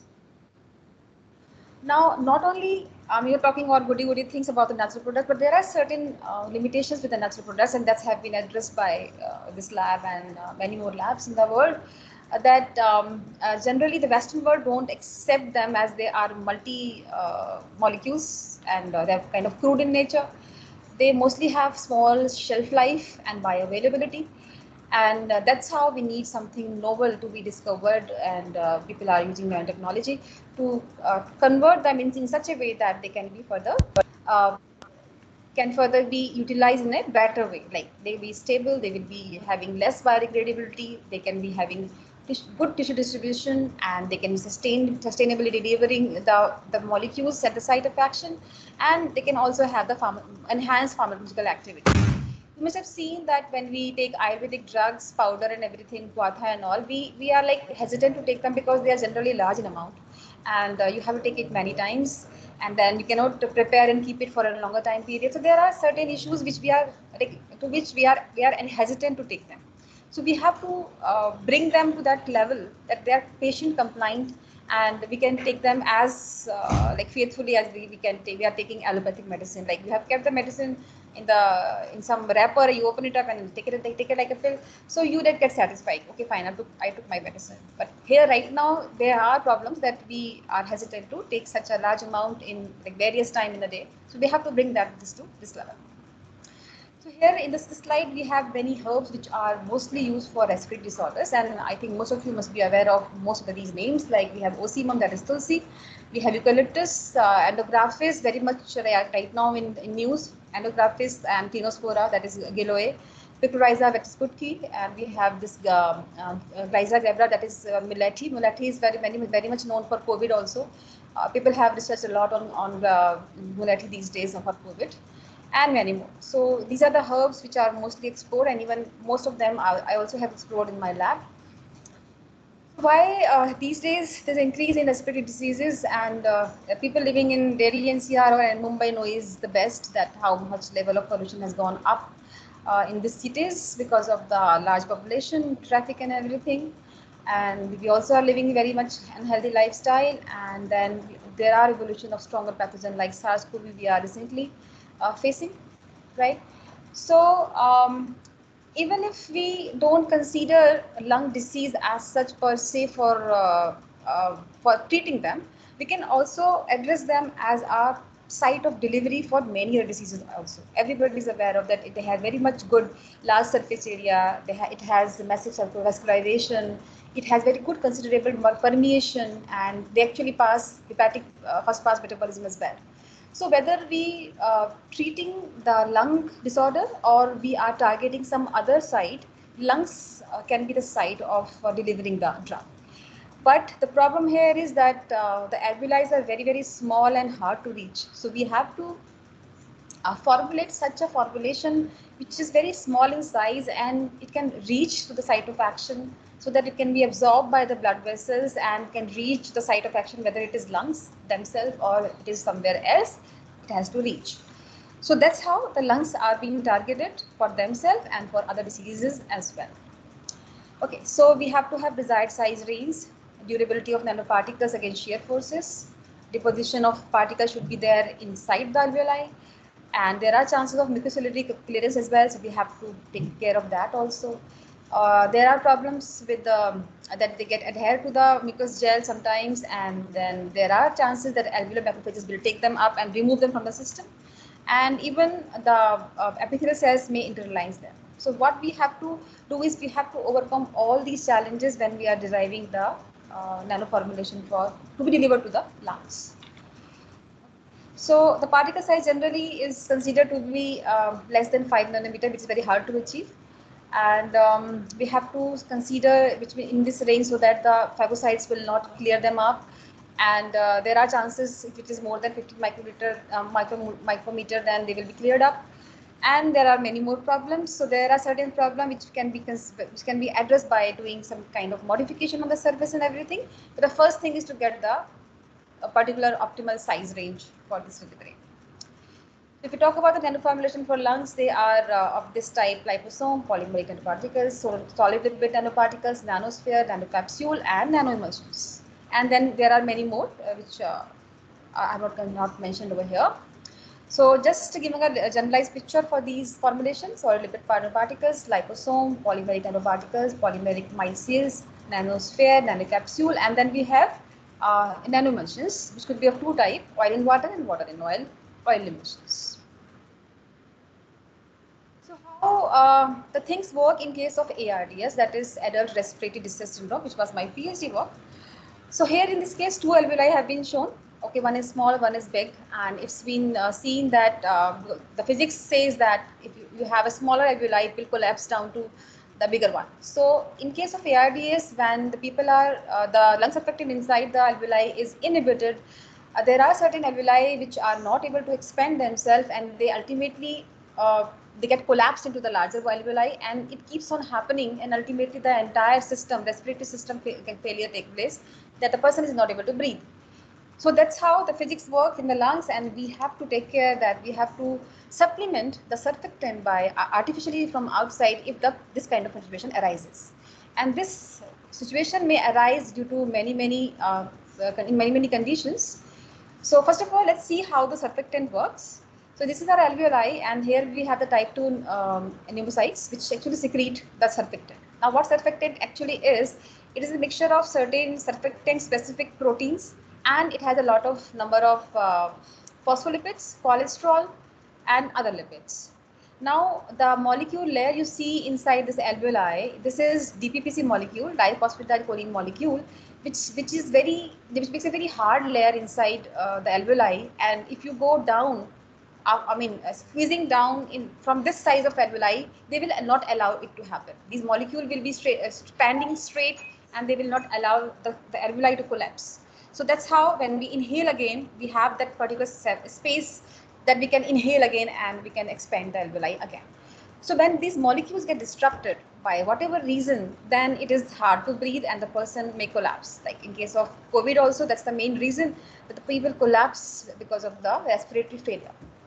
So this condition of ARDS can arise in many conditions, whether it is a burn, burning condition, a person gets shot dead, shot uh, by someone, or it is uh, being drawn inside the river, or it is uh, some uh, traumatic injury, or it may be tuberculosis, it may be COPD, it may be uh, any many other conditions are there which can lead to the condition of ARDS. So uh, we have to see that we have to have that kind of surfactant available which can cope up or with all these kind of conditions whatever is the reason for surfactant inhibitor. Physically active inhibitors, we have chemically active inhibitors which may be present inside the alveoli, uh, reducing down the number and the, the nature of uh, the surfactant. That's how uh, the surfactant is inhibited and the person is not able to breathe and ultimately because of multi-organ fail failure the person would die. So we have uh, the drug molecule can be given in such a way and then we can have either mycel or liposomal form which we have worked upon to be delivered to the lungs. So let's see what this work was. So this work was basically of a traumatic injury. So when the person is uh, somehow uh, traumatized, I mean uh, the physical uh, traumatic condition is there, the lungs have been uh, inhibited by blood um, perfusion or maybe because of lung failure or maybe because of some other uh, organ failure. So lungs have been have been filled up with lung, blood either or its derivative like plasma or serum or blood itself or maybe a component of them. So it's been seen in the lab uh, using Langerhans trough that uh, when you run this uh, instrument, the surface tension start from around 70 and it goes down and it should reach near zero if it is a normal condition, that is the blue uh, curve you see here, that is the normal control condition where you have DPPC molecule going, going from 70 uh, uh, surface tension to the 0, 1. This is a normal condition. But when you have the blood component inside the alveoli, the surface tension may go high up you can see here the 7. Uh, okay, so uh, as we can see, we have reduced down, reduce down this 7 to 0 again by having surfactant inside the alveoli. Now here uh, in the lab, uh, in my PhD work, uh, we have used eucalyptus oil in different ratios. And it's been found that when you have DPPC in combination with the eucalyptus oil, the surfactant, the surface tension level goes down to even like near zero, even better than DPPC. So that's how we could develop the formulation in the laboratory for the treatment of ARDS, where we could file two patents for NRDS and ARDS both, and both were then granted later on. Okay, so this is uh, the best uh, inhibitor we found in the lab, that is mem RBC membrane. RBC membrane is interacting with the DPPC, you get uh, the surface tension as around 9 or 8. And then when you add, you have EO, eucalyptus oil in the formulation, then you, in the even in the presence of membrane, you can reach surface tension as 0. Now, after having this parameter established, then we went for the development of formulation. So, so this is the cryo-TM micrograph where Professor Bellare helped me a lot to get these pictures because we used to sit for six and seven hours uh, closing our eyes in the lab to have these pictures of cryo-TM because we have to watch these uh, liposome in a very much low intensity of uh, the TEM. So there uh, sir came and then helped us out how to figure out what liposome, how it looks like and all. Uh, these are the DPPC liposome as you can see here and this is uh, the grid uh, corner and again we have here the liposome seen in this picture Here uh, we are showing DPPC liposome along with the albumin. Albumin is also one of the inhibitor which has been found and uh, quoted many times in the literature, inhibiting the lung surfactant. And you can see a very interesting phenomena happening that the liposome is engulfing liposome. So that's how we could observe under the microscope in the presence of albumin. Now this is with the, presence of serum. As You can see the number of liposomes have gone down and there are very few number of liposomes were seen uh, under uh, microscope. So there's some description given on these liposomes. I'm not going into detail of that, otherwise it will be going too long for the presentation. Later on, uh, DPPS uh, eucalyptus oil were mixed up uh, in a particular ratio, in a particular form. Liposome were prepared and then, then they were uh, even um, uh, make the uh, very very uh, low in size. So you can see this is DPPC liposome and this is along with the EU. So this was the formulation we developed on which we got we could get the uh, patent uh, for the the two diseases. So um, this was a done a work done by me, ma'am, along with uh, Professor. And now I will be talking a little bit about the work that's been done in my lab uh, with my PhD student, who's uh, Dr. Manisha Singh right now. So this was this work was on ginkgo biloba, which is a Chinese herb, uh, and this work was uh, to be apply apply on international application for Alzheimer disease. So here we developed nano emulsion formulation, having uh, the standard ex extract of ginkgo biloba, which is called as EGB 761, having isopropyl and uh, IPM 280 and ethanol in the formulation as excipient. So if you talk about uh, ginkgo biloba, it's also called as living uh, fossil. So these senescent leaf actually are the best one to extract, make the extract. These are the one who actually have the active phytoconstituents uh, to treat the Alzheimer disease. And is a very well known herb in China to treat Alzheimer disease. Now, as I was telling you that we have to bring down this to that level that they work efficiently, having good self shelf life and having good bioavailability so that people can trust it and uh, it will be having more efficacy also. So this is uh, your in ginkgo biloba and this is the senescent leaf where, where the extract must have been prepared. We bought the extract from the market, standardized one. And then we mixed uh, uh, the excipient as IPM, 280 and ethanol and the extract was mixed up uh, with these uh, excipients and then we prepared the microemulsions. And this is those combination which we have finalized to work upon further, okay, where we have IPM, 280 ethanol in a particular ratio and we have chosen certain um, um, set from here. So we have chosen ITE, for example, here to go further for further analysis and further characterization. This is a pseudotary di diagram which tells us whether um, water into oil or oil into water emulsion has been formed or not formed. So this is a particular titration method uh, uh, software which has been used over here. And uh, this particular figure she says uh, the, the left one, the leftmost one, that this is the one which is making your oil into water emulsion, which can be further utilized and further characterized to be taken further. We went for then thermodynamic stability test, whether the emulsion which has been formed is stable or not for heat, for cooling, for centrifugation, for freeze and thaw cycles, for dispersibility. So on all these grounds, a particular formulation actually came out to be the best, which we have taken further for further testing in vitro and in vivo. Okay, so here we have uh, A1, A2 and A3 which were accepted and from here then further A1 was accepted. We went for particle size analysis, zeta potential analysis, TM analysis, FTIR analysis for further characterization. We also went for logical studies and antioxidant activity as I was explaining about the antioxidant activity which is very important to consider.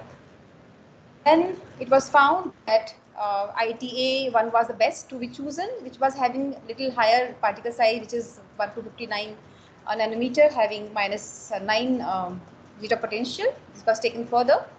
So this shows uh, the particle size and the zeta potential. This is the this is a normal TEM showing the microemulsion droplets having the extract inside. You can see these black particles, uh, uh, these black particles of extract seen inside the microemulsion.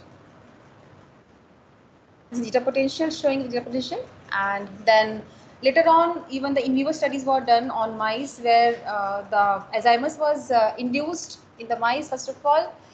Uh, then after that, they were giving certain tests like Morris Wasser maze test where we have a platform under the water where the mice will learn a particular pathway. But if the uh, Alzheimer's is created, induced, then the mice will forget the path.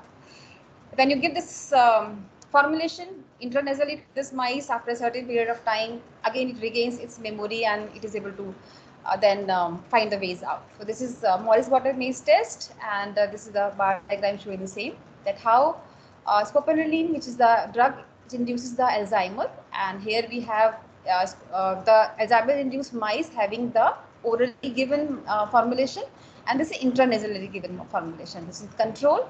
If you can, can, can compare the control with the, the formulation, they comes almost alike and there was a significance also seen uh, that it was found to be normal. Then we also have gone for a Y maze test where again the mice will learn to get food from a particular path. When if you give induce the Alzheimer, it will forget the path.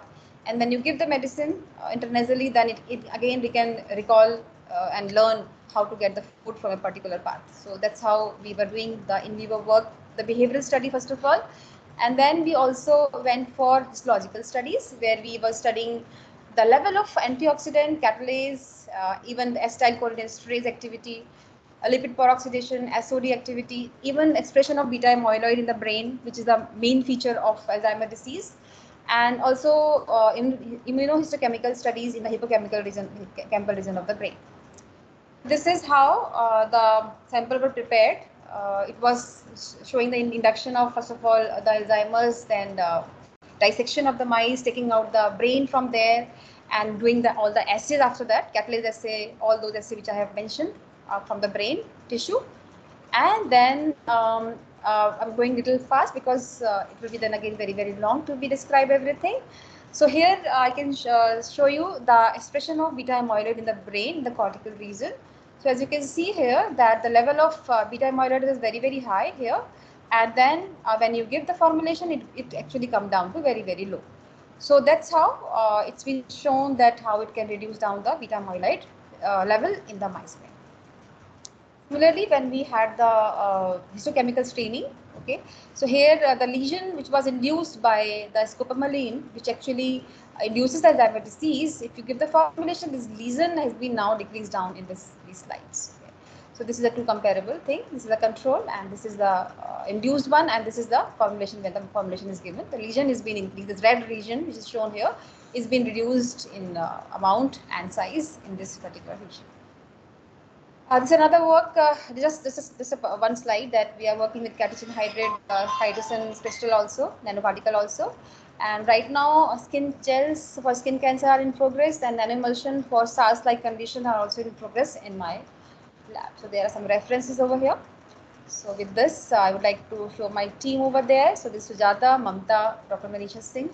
Uh, and then uh, these are the currently uh, current PhD student, uh, Dipanshi on the top and Mansi uh, down. And these two are working. This is working. She's working on skin cancer, and she's working with the respiratory SARS condition to develop uh, nanoemulsions this uh, opportunity. I will be happy to answer any question. Thank you, for a wonderful talk. So uh, now I would request uh, participants if they have any question they can ask. Uh, Dr. Rachna, I have few questions. Like I don't have a background in uh, drug delivery, but if you can like give me an idea. Uh, so you said there are various of uh, plant extracts you showed in your presentation. So generally, uh, when we talk, when we work on a small molecule, we go with the drug ligand kind of a, like protein ligand kind of a study to check first whether they are interacting or not. So here, when you have a uh, like series of plant extract, how do you know that okay, this extract, this plant extract will work on this kind of disease? So like, how do you know? If you're talking about the kind of extract and the disease, then yeah. there are a lot of literature available. Okay. We are working with those kind of herbs which are already proven to be working in this condition. What we're trying to do is we're trying to improve on that, like we're trying to improve their stability, their bioavailability, uh, their efficacy, the shelf life. So there, as I said, ginkgo biloba is very well, very well known for treating Alzheimer's disease. But then when the patient takes it, it is a huge amount of extract or quath or powder you have to take many times in a day and then it may not work, it may work, but we have to make sure that it reaches to the site of the action and works efficaciously. efficaciously. So that's how, uh, right now what we are working on is mostly those herbs which are known. To treat a particular disease or similar kind of a situation. So we try to first of all take them out and we prove in the lab that yes, it is in the same direction. What is known in the literature, we are getting similar results in the lab. And then we try to see what kind of formulation we can develop so that we can get that particular aim achieved that we have to reach the site of action with, the, with those properties. And once you're done with uh, modifying the condition uh, at which the efficacy is like the efficacy is what that you require to, uh, to treat the disease right? So how do you know that okay this small molecule is uh, this uh, plant extract is working? So for example in the drug we perform normal cell viability assays yeah. so what are the assays that you usually perform with these uh, plant extracts to check the efficacy of these extracts? So these just depend upon the disease actually. Okay. so as, as you see in case of um, alzheimer's disease we did assays like beta amyloid expression. We went for s-type acetylcholinesterase enzyme expression so these are then disease specific. See, one common thing is that you go for antioxidant assay, you go for anti-inflammatory assays, which is I've shown you that's common for almost all the diseases. A person like who's doing MTech or MSc or a BTech project, they, they could reach up to antioxidant level maybe. But for somebody is going for PhD, then that person has to go more specifically for specific kind of assays, which will actually indicate that yes, this is going to work. This is working. Thank you, Dr. Rachna, uh, for your talk. We can move uh, to the next session. We have? Yeah. Thank you so much. Yeah. No, you can ask the question. okay. I have just one question, ma'am. Okay. Uh, is this the gold standard? Uh, suppose you have given, suppose you have induced uh, Alzheimer in mice. Mm -hmm. Is it confirmed that is there any other study to check whether Alzheimer has been uh, completely depleted on the mice or not? So again, there are certain parameters which are like fixed or uh, reported and published. Again, I'm repeating this once again that for Alzheimer, beta amyloid expression is the key. That if it is been expressed in the brain, you, can, if you compare this with the control of normal mice and uh, Alzheimer-induced mice, you have to compare whether beta amyloid has been expressed more in the induced one or not. And as I said, acetylcholinesterase activity. So these are some key uh, assays you have to perform which, which are disease specific. So that you have to compare with the control. Control will say less and then your disease condition will say more. So if it has been induced means those are expressed more. Okay. And then you have to again give the medicine and see whether it is coming down to the normal or not. Okay. So that's how we compare the normal and the diseased one and the treated one. These three things Thank you, Dr. Rachna. We can move on to our uh, next session.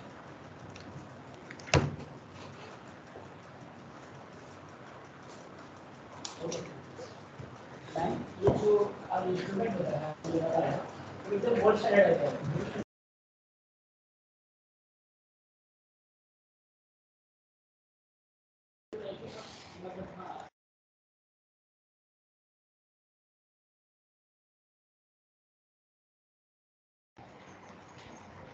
So hello everyone. So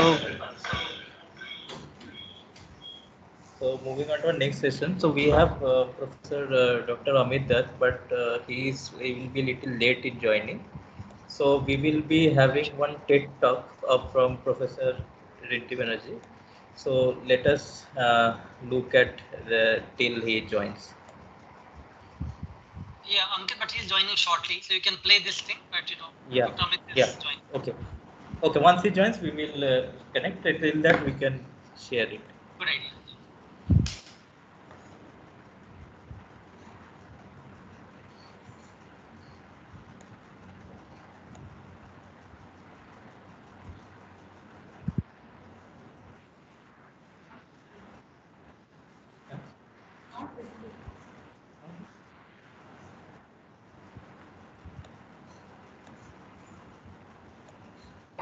see it. After that,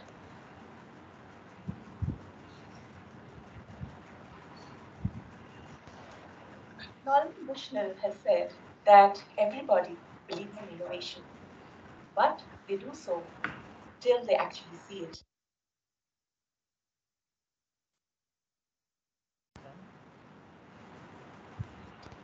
After that, they say, oh no, that'll never work.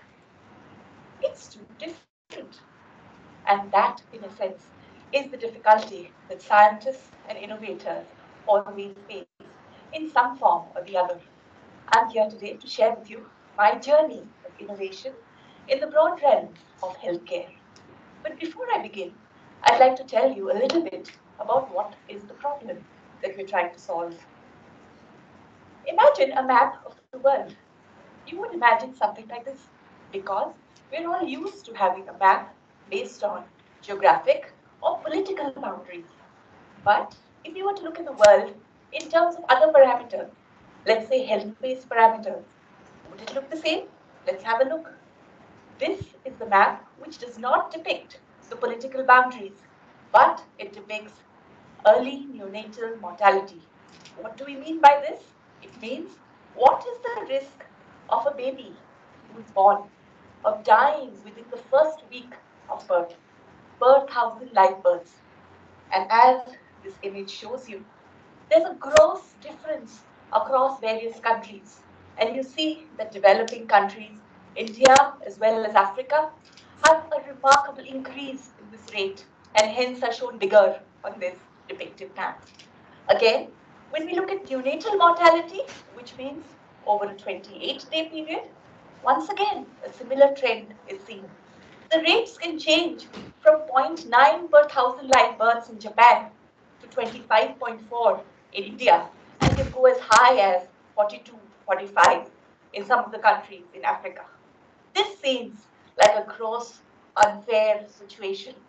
Why should a baby die just because where it is born and because it does not have access to the correct amount of healthcare facilities? And this picture remains the same even when we look at other parameters. This one, under 5 child mortality.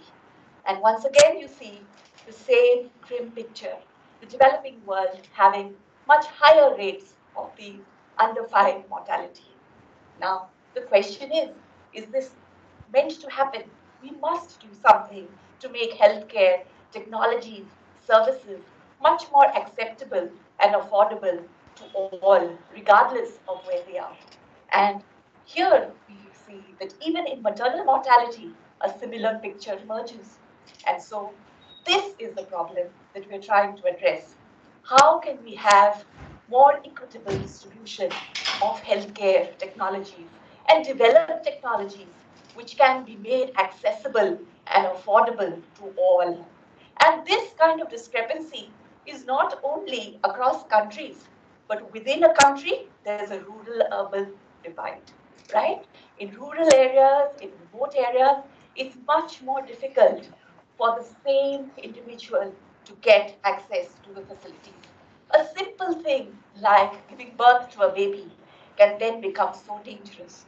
So let's look at these infographics, which show you that it's 50 times more likely that there's going to be an under 5 mortality in the sub-Saharan African countries as opposed to those countries which fare the best in this parameter. Similar picture is in maternal mortality. 99% of the deaths are in the developing countries. This brings us to the need of an accessible, affordable, and available healthcare system which has technologies, development, deployment, as well as delivery, and yet of the highest quality. We believe that science and innovation can play a role to bridge this gap. And most of my work over the last few years has been in the development of innovations to make a difference to healthcare, such that they can be more affordable, more accessible, and to the reach of the remotest areas and the poorest of before I tell you about the actual innovations, I'd like to tell you how my journey began. Well, initially, I was a medical doctor and I was practicing in a rural area in Maharashtra. And one of the things I noticed was there were a lot of these tiny babies which were born before term. And unfortunately, in that rural area, the infrastructure that was available was not enough for us to be able to save their lives. Also, when we tried to transport them to referral centers, sometimes we couldn't get them there quickly. it seemed like such an unfortunate situation. It kept gnawing in my mind. Can we do more? We must help these tiny babies. And that's when I explored a little more. And this is what I found. Prematurity is actually a global health problem. Not only that, India has the dubious distinction of having the highest number of preterm babies per year across the world. We have more than 35 lakh preterm babies. And now this compounded with the fact that if the baby is born in a rural area, most likely it's a home birth, as well as they do not have access to intensive care facilities. So can we do something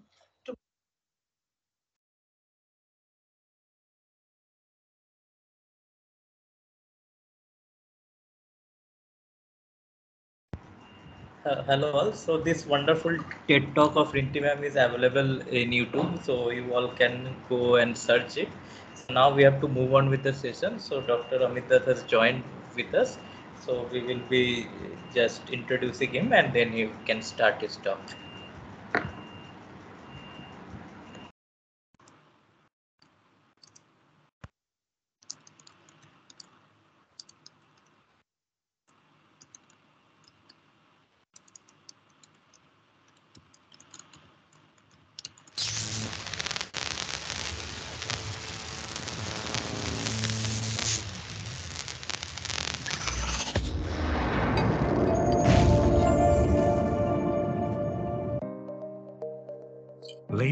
And gentlemen, it's an absolute pleasure to have with us Dr. Amit Dutt, who joins us from ACTREC Tata Memorial Center, Mumbai. Dr. Amit Dutt is the principal investigator of Advanced Center for Treatment Research and Education in Cancer, ACTREC Tata Memorial Hospital, Mumbai. He has received his first doctoral degree from ICGEB New Delhi and later on received another PhD from Institute of Life Science, University of Zurich.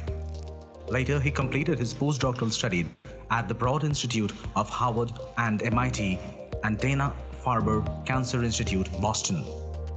He is a recipient of the Shanti Swarup Bhatnagar Award, the Swiss National Science Foundation Fellowship Award, Julius Claus Foundation Award, Ramalanga Swamy Fellowship Award, etc. He serves on the editorial board of PLOS ONE and PMC Genomics. His area of research is on integrated cancer genomics. With these words, let us welcome Dr. Amit Dutt from Actric Tata Memorial Center, Mumbai.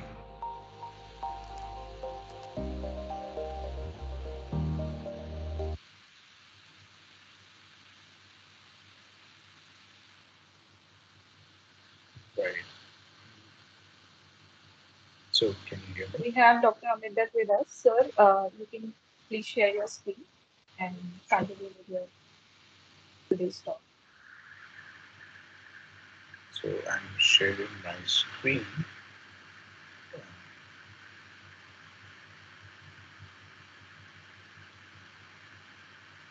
Is it open the share tray? That's the one. Can you see my slides? Yes, sir. Your slides are visible. Uh, you can make the slides in full mode and then. Can you see Yeah. the slides in the full mode? Yes, sir. Right. Uh, so, uh, very good evening to everyone. Um, this is uh, uh, with, with a great heart. Um, the sudden loss of uh, Professor Vinti Banerjee to this whole community, uh, uh, loss that perhaps cannot be kind of like made up. So, um, in fond memory of her, um, I'm, I'm privileged to uh, dedicate this talk and present this presentation uh, about with regards to a project uh, that has an uh, collaborative basis with IIT Bombay, uh, primarily with uh, Professor Anirban Banerjee that I'm going to be talking about today. So my laboratory is based here at ACTREC, Tata Memorial Center, um, in the outskirts of Mumbai. It's the corridor where we are kind of located. And my laboratory primarily focuses on um, uh, understanding the different genetic alterations that underlies different human cancers And today I'm going to be talking and emphasizing primarily uh, with regards to uh, head and neck cancer. And to be more precise, I will be talking about uh, tongue cancer uh, uh, to be very precise. And in tongue cancer, I'm going to talk about two different aspects, an overview of that that I will be presenting to you, um, where we have been characterizing and trying to understand the genetic alterations and initiative uh, that is very much required to be taken from this part of the world, uh, given that the higher incidence, that's what we tend to get to see uh, in the Indian subcontinent, and something which is not that common uh, in the Caucasian, among the Caucasian population. At the same time, I'm going to talk about some uh, very interesting leads from the laboratory in collaboration with Professor Anirban Banerjee from IIT Bombay. Um, uh, some some uh, recent discoveries and how we are taking it further. So uh, before uh, I get started, here I start with a very brief introduction uh, to the head and neck cancer. You may be very well aware of that head and neck cancer um, uh, there, there, are several subsites which are uh, involved in which, which constitute it's a very heterogeneous disease which constitutes the head and neck cancer. These subsites are the buccal mucosa um, uh, or the tongue, uh, the gingiva, the floor of the mouth. These are all different subsites. And in general, uh, my laboratory is primarily been focusing on the uh, the cancers of the oral cavity that can be called as uh, the oral cancer in particular. And if you would see as the distribution, you would see that majority of this incidence, uh, the bulk of it is contributed by uh, the Asian population and uh, let's speak about by the Indian subcontinent. Uh, among these uh, subsites, my laboratory has primarily been focusing on the tongue cancer. Uh, there have been other initiatives, other initiatives in India which have been working on and emphasizing on the other aspects of the subsites of the oral cavity, such as the buccal mucosa, primarily Dr. Gautam from the National Institute of Biomedical Genomics. However, my laboratory is primarily into the tongue cancer. So uh, what question that what we are asking over here at ACTRAC, I'm going to introduce you through the slide, is a clinical problem uh, and um, that forming as the basis of the biological hypothesis that we would want to generate to answer and address this clinical problem. Uh, that what we tend to get to see in the clinics, I would say, on a daily basis. So here what you see is that um, tongue cancer, if it is uh, detected early, um, uh, then the survival is much uh, higher, as I will show you in here. If it is detected at a later stage, uh, the therapeutic options that is available is just surgery or chemoradiation. I mean, most of the times at an advanced stage, surgery possibly could not be performed. It's primarily the chemoradiation and uh, uh, and the management of the disease. So, if you would see uh, the number of people who have been dis- uh, who have been diagnosed since they have been diagnosed, and if you would see over a span period of five years, not more than 20% would actually survive. However, if it is detected early on, uh, survival is much more significantly different and it's much higher. Among the early stage, what happens in something which is very interesting is that there is a phenomenon called as metastasis. And this metastasis is something which is very typical to head and neck cancer, to oral cancer, where metastasis, that is the spreading of the disease from its primary site to um, the other sites where uh, it happens in a way that it is, uh, it is called as an occult metastasis. And uh, I'll come into um, uh, specifics of this occult metastasis in a minute. If there is an occult metastasis, um, that is which which accounts for about like 30% of them, uh, then the survival is significantly low. However, 70% of these patients uh, of the oral cancer, tongue cancer patients who walks into the clinics at Tata Memorial and in general in the subcontinent they do not have this underlying occult or cryptic or hidden metastasis. Uh, and these guys would survive much higher as what you would compare it from here. They have been detected early. There is no metastasis as well, and it is 80% of a survival. 80% of those guys would survive after five years. However, if there is a metastasis, that is a cryptic metastasis, uh, then the survival again is significantly low. So the question is that why not do um, just uh, identify these guys where there is um, uh, where there is a, a cryptic metastasis uh, in these folks and then treat them differently. But the problem is that all the clinical measures that what we currently kind of employ into the clinics, whether it is uh, CT scan, whether it is MRI or whether it is PET scan, they do not have the resolution to uh, detect the presence of these uh, cryptic, or that's what I meant by occult or hidden metastasis, uh, which is not very easy. So the, the moment a surgeon is surgery, a surgeon is cutting open uh, the and the tumor is being taken out, at that point of time, a surgeon does not have an information whether there is a cryptic metastasis um, underlying or if there is no uh, metastasis. And and essentially, then what kind of like leads to uh, I will show you in the next slide. That was a clinical trial that was performed at Tata Memorial Center. Every patient undergoes uh, um, that is called as um, a surgical uh, modality that is called as a neck dissection. What happens is where you remove the tumor and then in anticipation that the lymph nodes would also be uh, uh, be activated, be, infected with these tumor cells. The lymph nodes uh, without having the information whether there is a metastasis or not, then lymph nodes uh, in a completely diagnostic way, the lymph nodes are also being removed.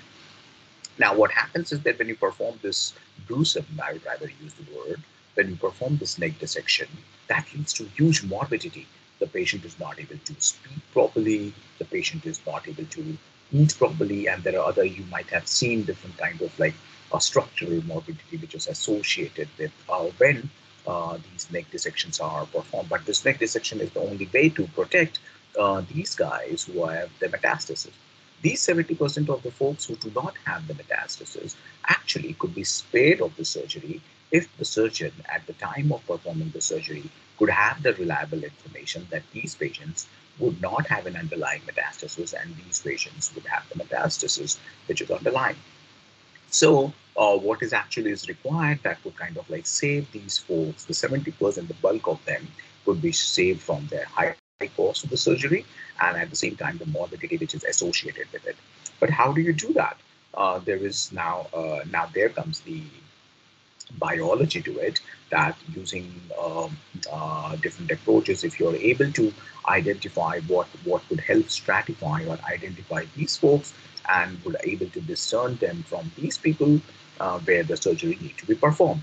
And as what I just said, there was a clinical trial that was, you can always argue that 70% out over there uh, do not have the lymph node metastasis. Why don't you just leave it on? But if you would do that, uh, that leads to a disastrous outcome.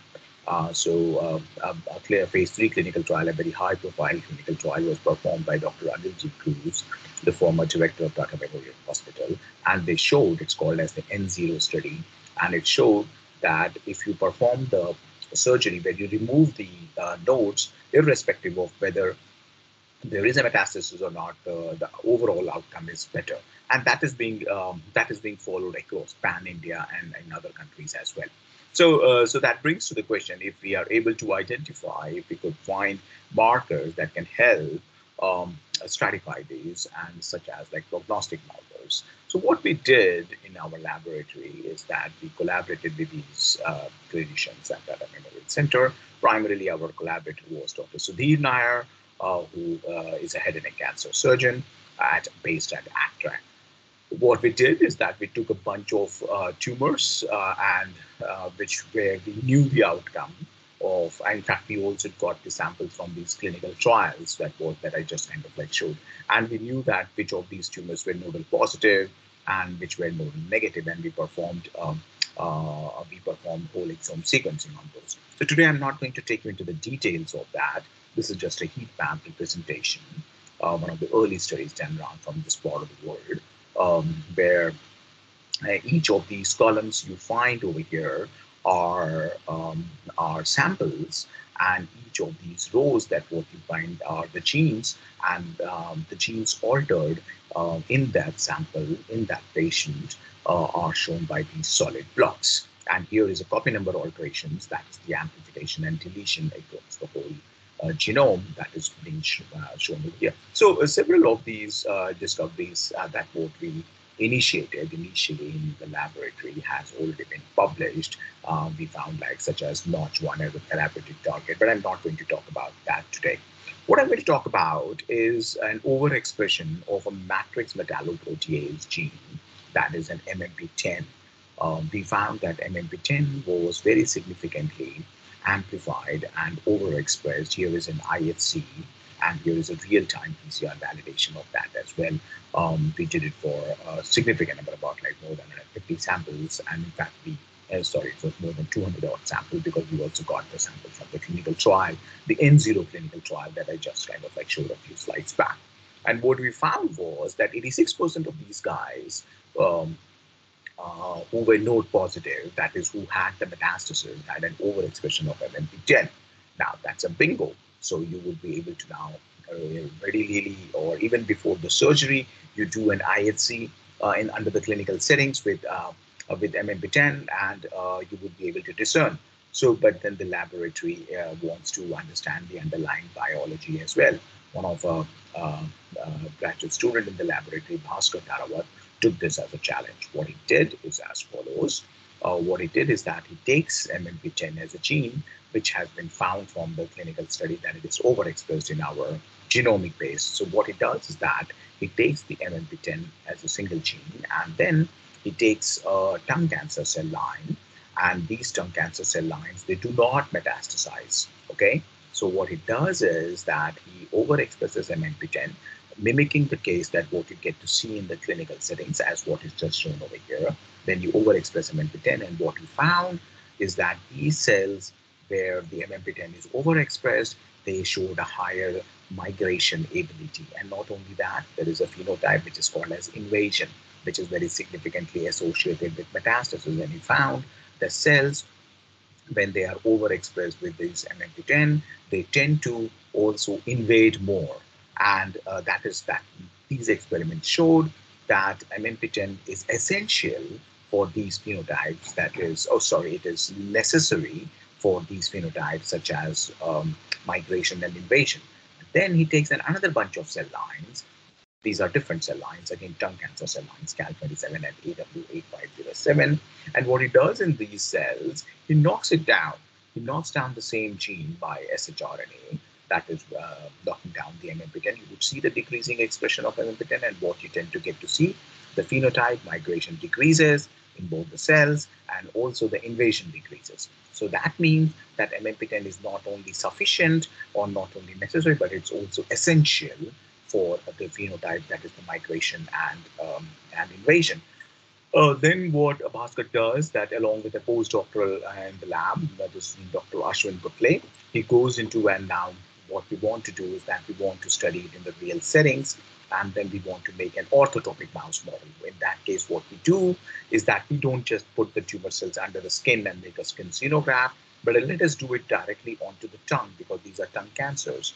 And what you're what you're seeing over here is a small snippet where uh, the, the the mice is anesthetized, and what you're seeing is that what Dr. Ashwin Butle is doing is that he takes those cells where there is an MMP10, and in that cell, they also put a luciferase tag, okay, which would have the fluorescence and directly injected into the tongue of this. So do you see over here? And soon this there would be diffusion. There would be uh, this this bulb would be kind of like gone. And what you will tend to get to see is that within some time you see that everything has regressed over here, the, uh, the, the, liquid, and soon you would see that uh, what we tend to get to see in that 24 or 25 days, uh, these mouse, they develop the tongue tumor. And uh, here is the tongue tumor that what you kind of like get to see. Now, because these tongue tumors, uh, these cells that were injected, they also had the luciferase gene. Uh, we could now, we don't even have to kill the mice. In a live imaging could be performed at that memorial act tract that of what is being done and what is actually being done in patients. We also do it in the small image animal imaging facility.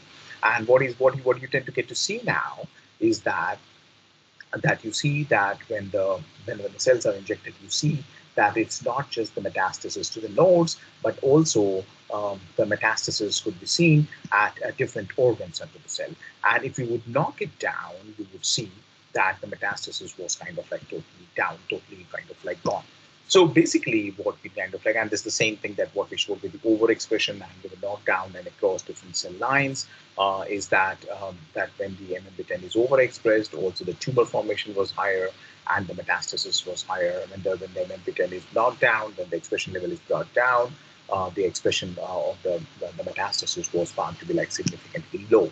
So what does that kind of like establish to us? What that teaches us is that MMP10 is something which is important, essential, um, and also sufficient in driving the metastasis. But Bhaskar was interested to understand what mediates this.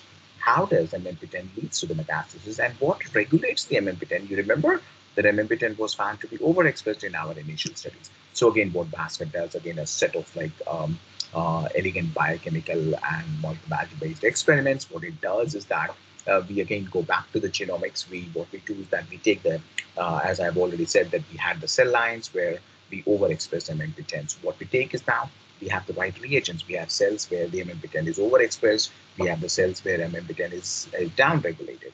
What we do is that we perform whole transcriptome sequencing on those and small RNA sequencing in there as well. Uh, what we find is that um, that I'm cutting a long story short. What we find is that there was a discovery of a microRNA that was MIR944 that was found to be also um, going along with the metastasis. The the the the, the, tumors where uh, the patients which had the metastasis, they also along with the MMP10 there was also uh, there was an inverse anti-correlation. There was a, a, decrease in the expression of the MIR944. Bhaskar goes on to do a luciferase. There is a biochemical assay, an elegant assay, where it shows that MMP10 actually binds to the 3' UTR of um, of the MMP10, and that's how it kind of like so. when the when the MMP uh, when the MIR944 goes up, the MMP comes down. When the uh, uh, MIR944 goes down, the MMP comes. That's that's how it's kind of like regulated. And also the phenotype that what we kind of like found when uh, Bhaskar performed the overexpression of um, of uh, MIR944 or down regulation. There is an anti-correlation or down regulation of MMP10. They both had a, a similar kind of like phenotype. Uh, so that way, Bhaskar kind of like knew that the MIR, uh, the microRNA MIR944 regulates the MMP10 band with the, with the downstream analysis, again using the genomics, cutting a long story short, he looked for those genes that when MMP10 goes up, what what what pathway uh, comes downstream to the MMP10. Cutting a long story short, he found some very intriguing and a very interesting finding that he finds that there is a gene called as an AXL, which is a tyrosine kinase, and we know that tyrosine kinase inhibitors against even the AXL is approved in clinics and in other different cancers. And what Bhaskar shows that AXL gets overexpressed, that leads to uh, mesenchymal epithelial mesenchymal transition. I'm not taking you into that. What I'm trying to tell you is that um, from the from the clinics, we we observe a clinical question that there is a problem, there is an unmet need to identify marker. We take those primary tumors, we perform genomics onto it in a completely unbiased manner without any hypothesis to begin with. Then we come to a lead of a micro of a MMP10 to be found to be overexpressed. Then we find microRNA that is down uh, when MMP10 goes up, and then we find that the effect of the MMP10 is actually mediated by AXL, that is a tyrosine kinase. And uh, uh, we, we, we, show that by doing knockdowns and everything, that there is a complete whole axis which is involved in. Um, so the complete whole pathway is something that what we dissect um, that leads to the metastasis uh, in, um, uh, in, in ovarian cancer. Uh, what I want to talk about in the, um, in the, in the remaining time is a second aspect to the same study and the leads uh, with regards to uh, that what we are performing with Dr. Anirban Banerjee at IIT Bombay. So uh, uh, my laboratory is primarily a genomics laboratory. You might have kind of like uh, realized by now. And we do all of like computational analysis, but at the same time, my laboratory has a very strong functional part of it, of, of doing the biochemical and the molecular uh, analysis using cell-based and the molecular biology approaches. Uh, uh, using um, uh, using computational approaches, my laboratory has a long-term interest in also understanding if there is a pathogen which is associated with uh, cancer. What we know from literature is that 18% or even 20% of human cancer is actually associated with infection. You know about the HPV in cervical cancer, so we went out and tried to ask that if we can find something, uh, uh, something which is associated with the oral cancer, and uh, that's what we and, and it is now getting like more and more, uh, more and more significant, and more and more discoveries are being done in this field. So you would see that these pathogens, when they are associated with these phenotypes, uh, phenotypes, you would find that uh, here what is being shown is the hallmark of uh, uh, cancer by um, by Hanan, um, uh, by Weinberg and Hanahan, um, uh, Hanahan and Weinberg. And what you would see is that all of these um, uh, phenotypes are actually in one way or other way affected also by the pathogen, by the microbiota, actually, microbes. Um, and uh, and more recently, now that you are you may be aware of that, very recently in 2022, this uh, hallmarks of human cancer has just been updated by Hanahan, and where they what have they added more? They what they have added more is the infection that the pathogens, which is associated, now it becomes an hallmark, such as the significant association of the pathogen with the human cancer that is so well established. And I said earlier that 20% of human cancer is actually associated with human cancer. So what we did is another graduate student, a computation student in the laboratory, um, uh, Sanket Desai. What Sanket Desai does is that uh, he does a computation subtraction. and that's a very um, that's a very conceptually very uh, easy to think about to, to explain is that you perform a human genome sequencing and then uh, given that thanks to the uh, human genome project that was completed around in 2002 2004 um, that now we have the baseline reference human genome. So what you do is like you take a tumor sample you do the sequencing and then you align to the reference human sequence. So you know that human genome is here and your uh, sequence from the tumor is here. You align them, and whatever matches with them, just throw it out of the window. So you will find reads that do not match to the human reference. Now, those reads that do not match to the human reference, what Sanket does, that he has developed these algorithms. This is a very uh, sophisticated and a very and, and it's an open source. You can download from my laboratory. And uh, he goes ahead and, and he aligns them. He made a complete database of pathogens uh, and he aligns them to the pathogen and he identifies if there is uh, some pathogen that would be associated with that.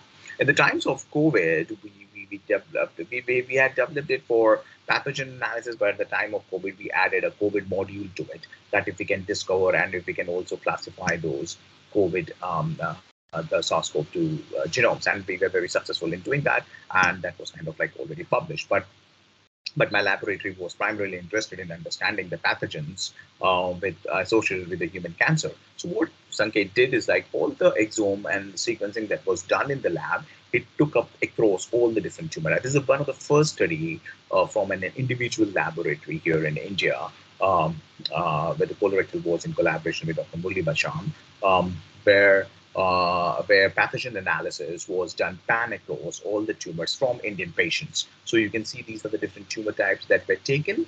And um, along with the TCGA samples, in total, we had like 1,500 samples run through these tools. And then because we are doing it for the first time for the Indian samples, you would want to know that there are a lot of like QCs and uh, checks and balances in place. Um, what what what Sanket shows is that if you would look at the there is a there is a there is something called as the tumor mutation burden.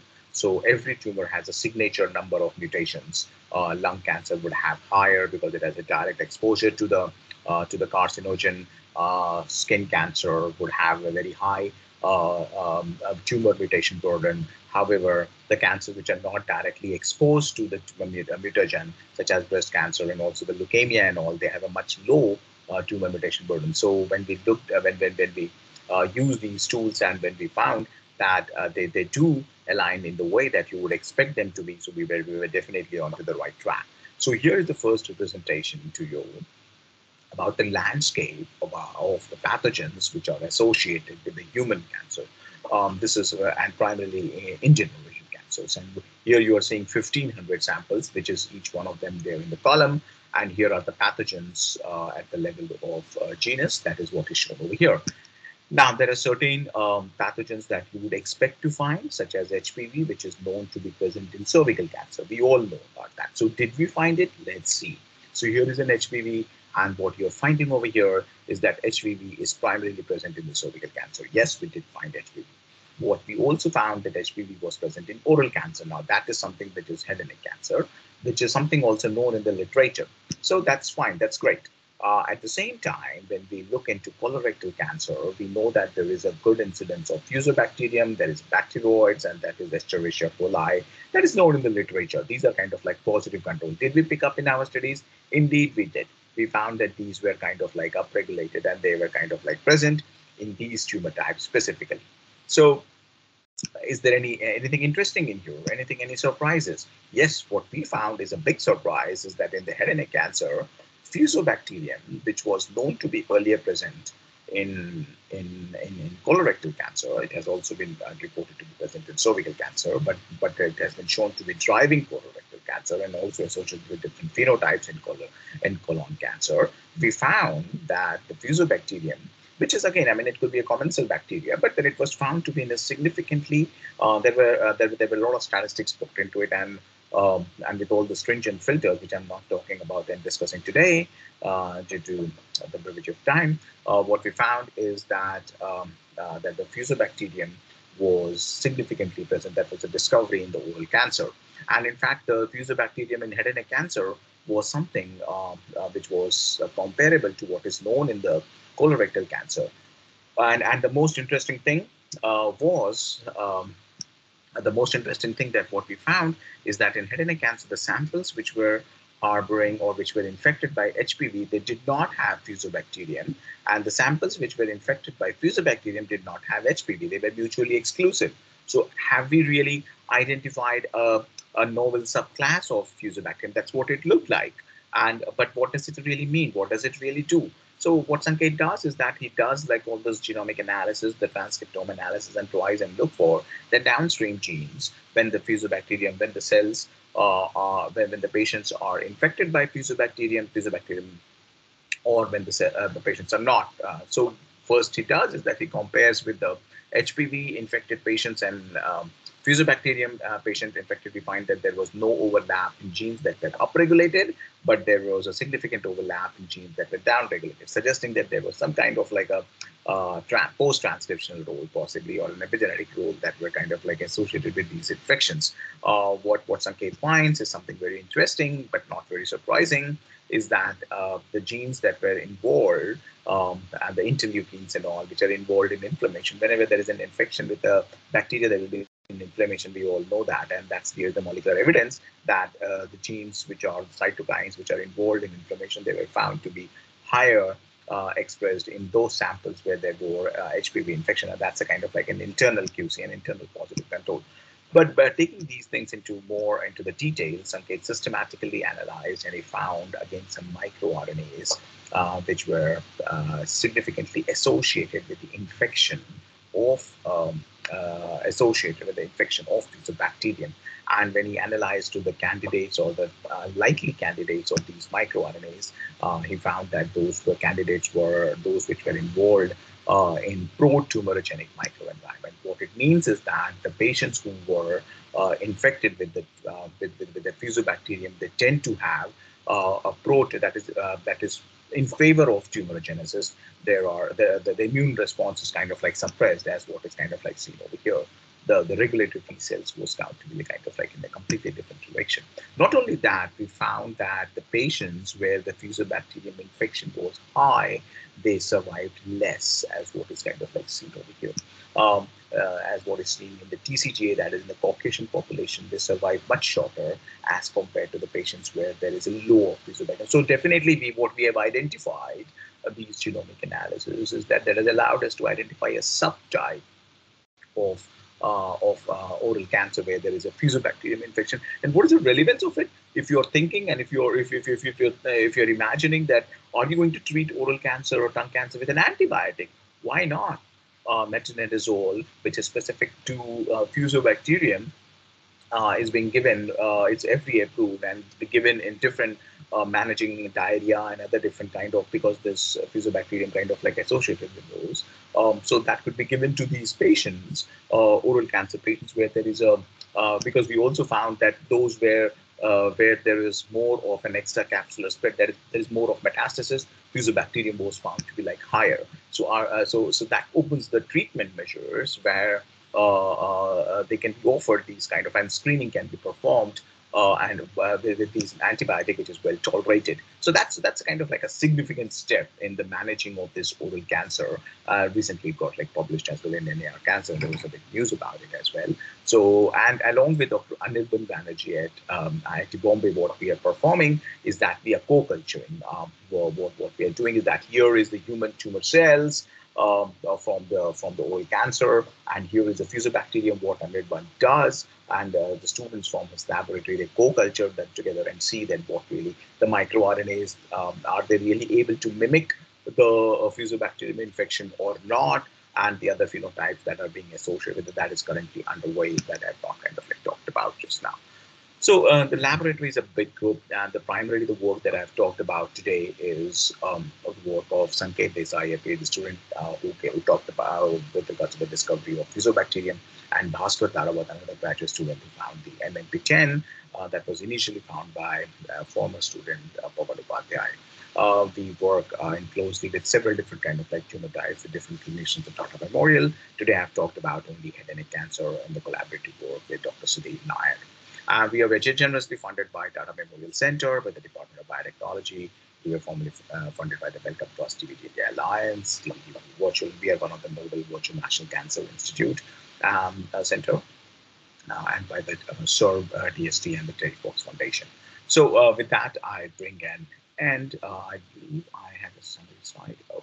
Um, so um, yeah, so what we talked about today is that we talked about that um, uh, the um, uh, uh, we, we, we defined a clinical problem we and then we went ahead and did genomics with that and we identified that MMP10 could be a candidate to answer that clinical problem to stratify whom to be given a therapy that is a surgery and whom not to be given and then we went ahead and we identified that those where there is uh, more of like metastasis um, um, uh, uh, there is an infection, there's a subclass of head and neck cancer where there is more of an infection with fusobacterium, and uh, that opens the door or an opportunity to treat them with an antibiotic. So with that, I will bring an end to my uh, talk, and um, uh, should there be some questions, I will be happy to take them.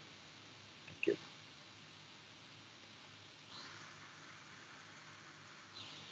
Thank you, Dr. Amit. Uh, sure. Now I would um, like if audience have any question, they can ask. Please raise your hand.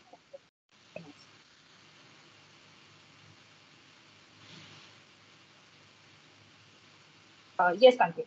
Please ask your question.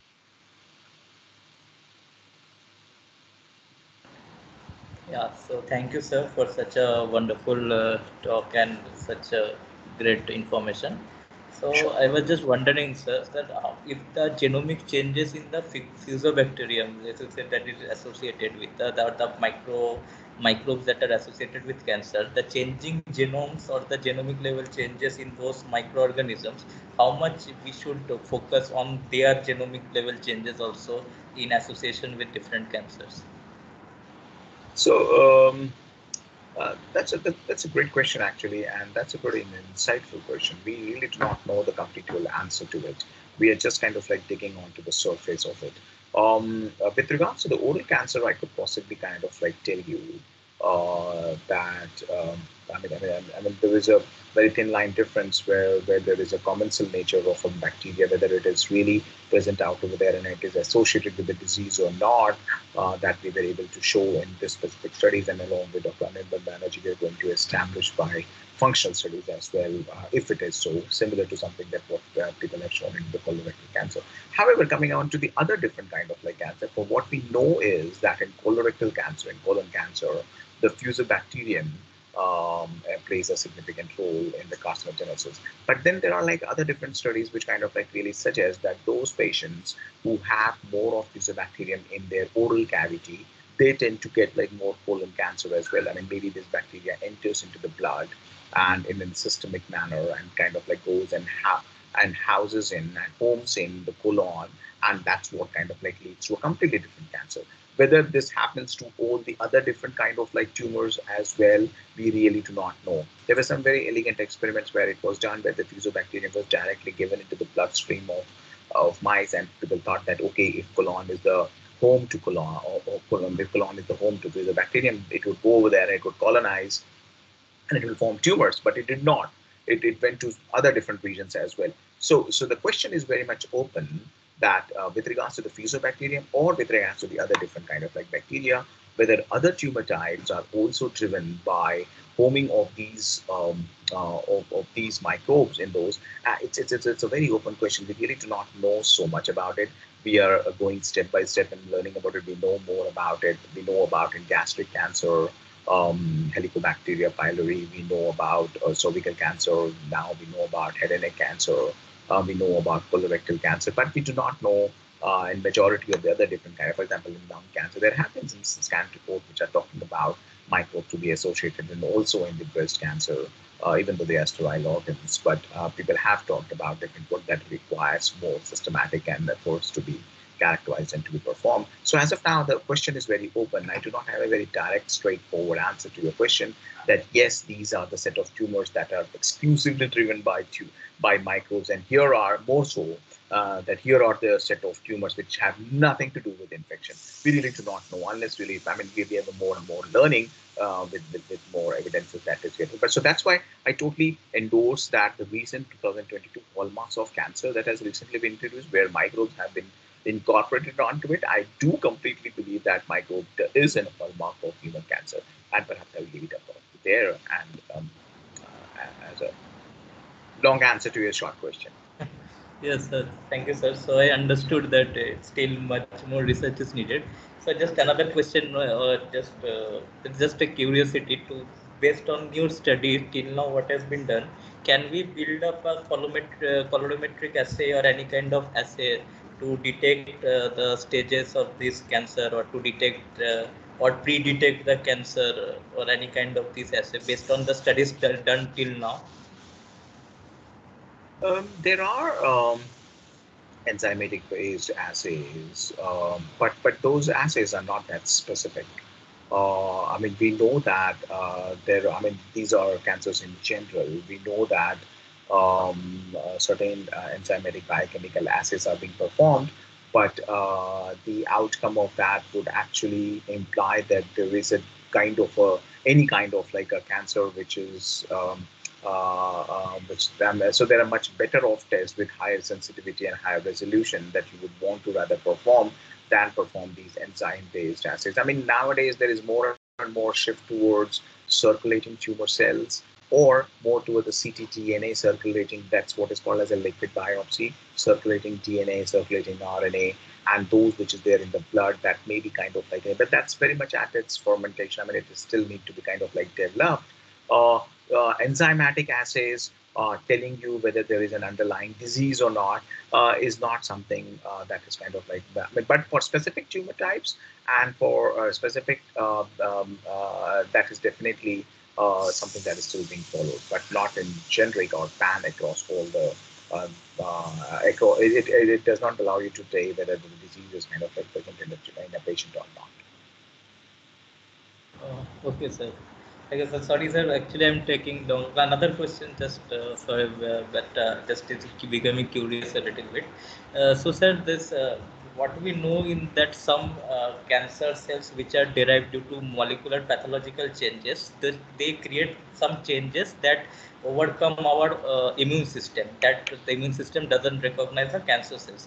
But these bacterial associated or microorganism associated cancer cells. Why our immune system failed to respond those foreign organisms and doesn't react? Means uh, that was i just become curious means. I mean um, so um, uh, the person who would be the most uh, suited to ask would be professor rahul purwar uh, from IIT Bombay to address this question, but I'll try to kind of like, um, uh, in a very naive manner, try to address this. What essentially happens is that the tumor cells are smart. They tend to down uh, downplay the immune actions or the immune response uh, through some gatekeeper uh, genes, such as the PD-L1. Or, and what it does is that when it kind of like expresses the tumor cells, uh, the immune response starts to identifying them as their own, and there is uh, and, and and the tumor response is kind of like subdued. Uh, these are kind of like systemic responses, and and as what I showed um, with regards to the fusobacterium as well, uh, you saw that the regulatory tumor cells were kind of like higher, uh, so uh, which which kind of like suggests that there is a suppression of the immune response, even associated when there is a uh, when there is an infection, similar to uh, so these fusions, uh, these these microbes tend to do similar to what the tumor cells. I mean, they are kind of like creating a pro-tumorigenic kind of like an ambience or an environment around that allow the cells to kind of like proliferate more and evade the immune response. So yeah, but but I still kind of like say the best person to ask answer you in details would be um, of a helpful. Okay, thank you, sir, for answering sure. this question. Thank you, Thank you Doctor. Sure. Uh, now we'll move on to our next speaker.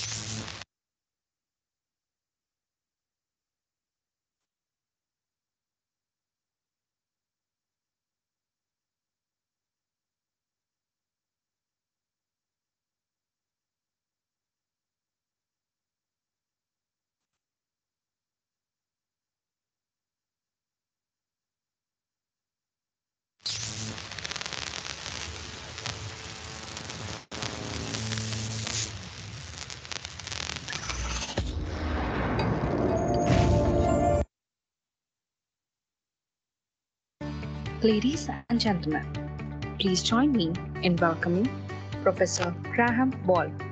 Professor Graham Ball joins us from Nottingham Trent University, UK. Professor Ball supervises the bioinformatics team at NTU and guides undergraduate and postgraduate research projects. He obtained his PhD in July 1996 after studying at the Trent Polytechnic now the Nottingham Trent University. He has worked as a professor of bioinformatics at Nottingham Trent University since 2010. He has 25 years of experience in the development and application of bioinformatics algorithms using artificial neural networks and other machine learning techniques. Areas of interest include machine learning, precision medicine, deep learning, bioinformatics, systems biology, molecular driver identification, drug target identification, understanding molecular processes in drug repurposing, in silico prototyping of diagnostic data mining of complex data sets. Ladies and gentlemen, please join me in welcoming Professor Graham Ball.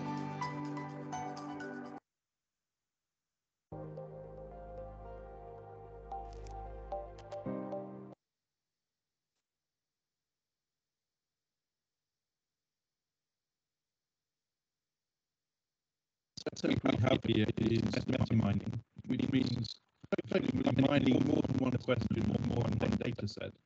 Come up with an and the question we're looking at for a little while now is proliferation in, in breast cancer. But we've also more recently expanding that out to pathway mining in uh, lung cancer and colorectal cancer as well. So one of the big challenges around cancer is it's a very heterogeneous disease. There are many different forms of it, and, and different forms will respond in different ways to, to treatment.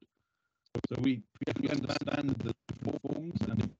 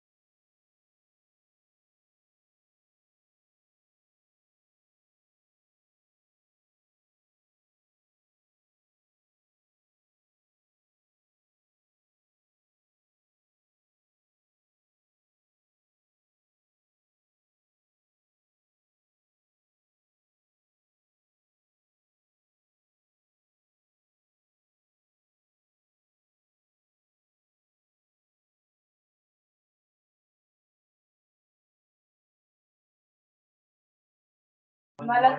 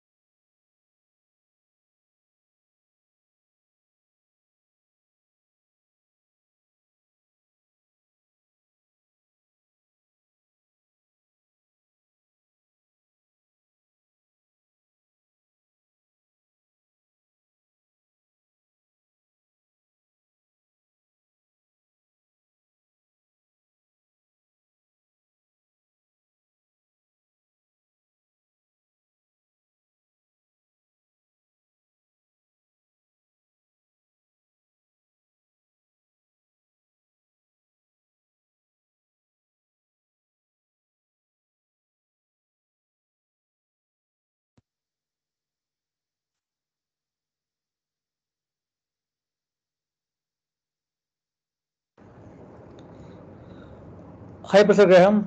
Good evening. Can you hear me? Good evening, Sanjeeva. Yeah. How are you? Like uh, some audio issue. Yes, can you hear me okay?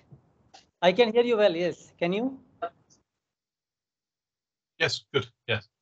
Yeah, great. All right. So there was some audio issue coming. I think team is fixing that. After that, we can have just, you know, your discussion on some points. Okay. Is I'm present now for the, the whole evening, so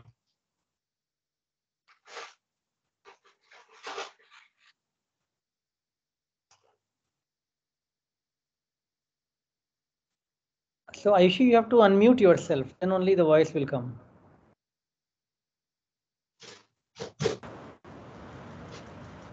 Hello, am I audible, sir? Yes, you are audible. Okay. While playing the video, your audio should be on. Right.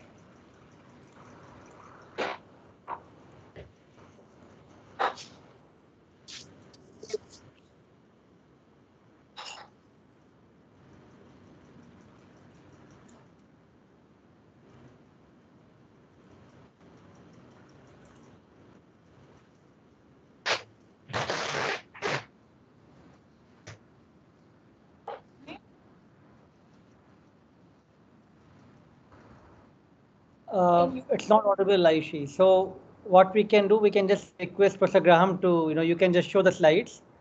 He can just quickly, you know, give some uh, comments on those slides. Okay, sir. okay.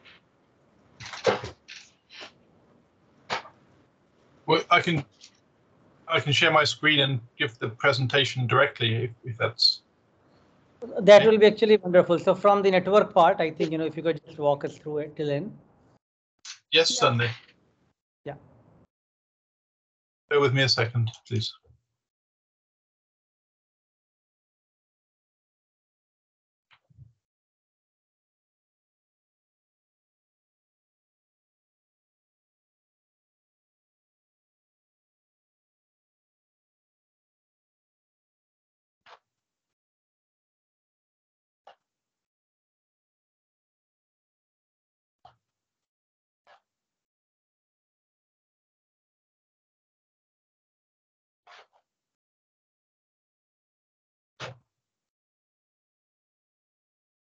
Okay, so um, I'll talk from this bit if that's okay. Okay, so um, th- this this part of the presentation is about um, how we move from effectively a list of genes to studying how features interact uh, with one another and in the context of a particular disease and from that identify potential drivers of disease state. So this is really trying to identify molecular causality of um, a given system, um, of a given set of features, excuse me, in the system. So what we're using this same neural network engine, which uh, has been defined before. So this is an artificial neural network. Uh, but instead of using the neural network to predict a given class, say disease or non-disease, we're using it to identify a gene. So we're using genes to predict a gene or genes. Um, and effectively, we're in this state, we're looking at multiple markers predicting one. And this tells us how things may interact with one another and how they may regulate one another. So in this system, we're looking at breast cancer, particularly proliferation, and the goal was to identify the drivers of that uh, proliferation system. So the way we do this is we, we build a, a neural network model. The light blue dots here are representing the input, the red dot is the output or the target. We build that model, we parameterize it, and here the thickness of the lines represents the, the strength of interaction between the source, the blue dot, and the target, the yellow dot. And we then dial the dial round one, and the next gene in the list becomes a target. We keep going round until effectively every gene has been used to predict every other gene in our enriched list, so in our list of features of interest. Now we can add on to that, we can whether it's the connection is stimulatory or, inhib or inhibitory. So um, that will tell us very quickly whether a gene is upregulated by another gene or downregulated. And we can also then use cytoscape to, to change the layout of that, and we can put directionality onto that network. So for example, this gene has a strong negative regulatory effect on this gene. Here, the genes are represented by the yellow dots. This one has a strong positive interaction. And yeah, we can see feedback mechanisms in this network as well. So this is what those sort of networks look like in a real uh, model. This is 100 interactions. Excuse me. 100 factors across 100, uh, uh, which have 9,900 interactions, and that's unfiltered. And then by putting in various filters, eliminating weaker links, we can identify um, features which are strongly regulated or regulating. And you can see here, this is the, the map which was arising for the proliferation study. And you can see here SPAG5, which is one of the genes of, of interest, highly being highly influenced, and KIFC1, another one is highly influenced. So these are hubs in our network. They're very important, and they're, and they play a strong regulating role in the system. So as a result of this, we published uh, a paper in Lancet Oncology, and SPAG5 now as a marker of proliferation has been validated in over 15,000 cases. Um, it also, if we knock out SPAG5, we can identify um, processes that it's regulating as well. So um, in this study, the um, the, the main work was conducted by Dr. Devika Agarwal, who's now in the University of Oxford. She did this as part of her PhD. And the work was also, con, uh, um, well, I should acknowledge the head of the centre at that point, who was Professor Bob Rees, who's now retired. We have a number of other people who are working in the Van Geest Cancer Research Centre. This work was also conducted in conjunction with Professor Steve Chan and Ian Ellis and Dr. Tarak Abdul Fattah, from Nottingham University's hospitals, and additional support was given by Paul Moseley. And lastly, we had funding from the Vice Chancellor's bursary at Nottingham Trent, and we also had funding for the centre from the John and Lucille Van Geest Foundation. So uh, that, that highlights the, um, the, the second half of that. I'd be happy to take any questions, and apologies if there's been an, an issue with the sound. Thank you very much, Professor Graham. It was, I think, wonderful to have you live and listen to that part of the presentation. Aisha, you can take over now for the Q&A. Yes, thank you, Professor Graham. Uh, I now request audience to, uh, like, if they have any question, they can ask. Please raise your hand and uh, then you can ask your questions.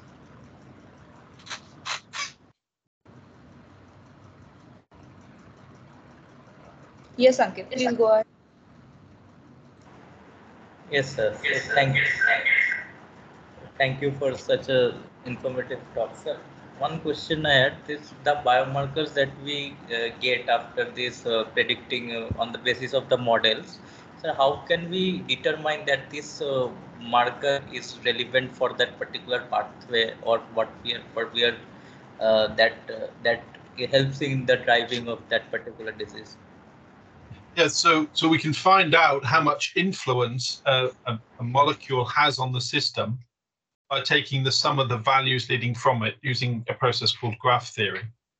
Um, in terms of relevance, then you know, we, our view is very much that the pathways are a somewhat artificial construct, and they're not complete. They're by no means complete. So what we often find is when we look at the, the genes driving the system, we see some things in, in the network that are well known, and usually it's around about 60% of the things that are well known. And then we find a 40% of new things that haven't previously been discovered, playing a strong role in the network. So, in, sen- in one sense, the presence of the things that are well known and well published validates the, the, the new things that are discovered because they've been discovered with the same process. Uh, also, sir, this uh, are these networks. These networks are directional or uh, these are not direct.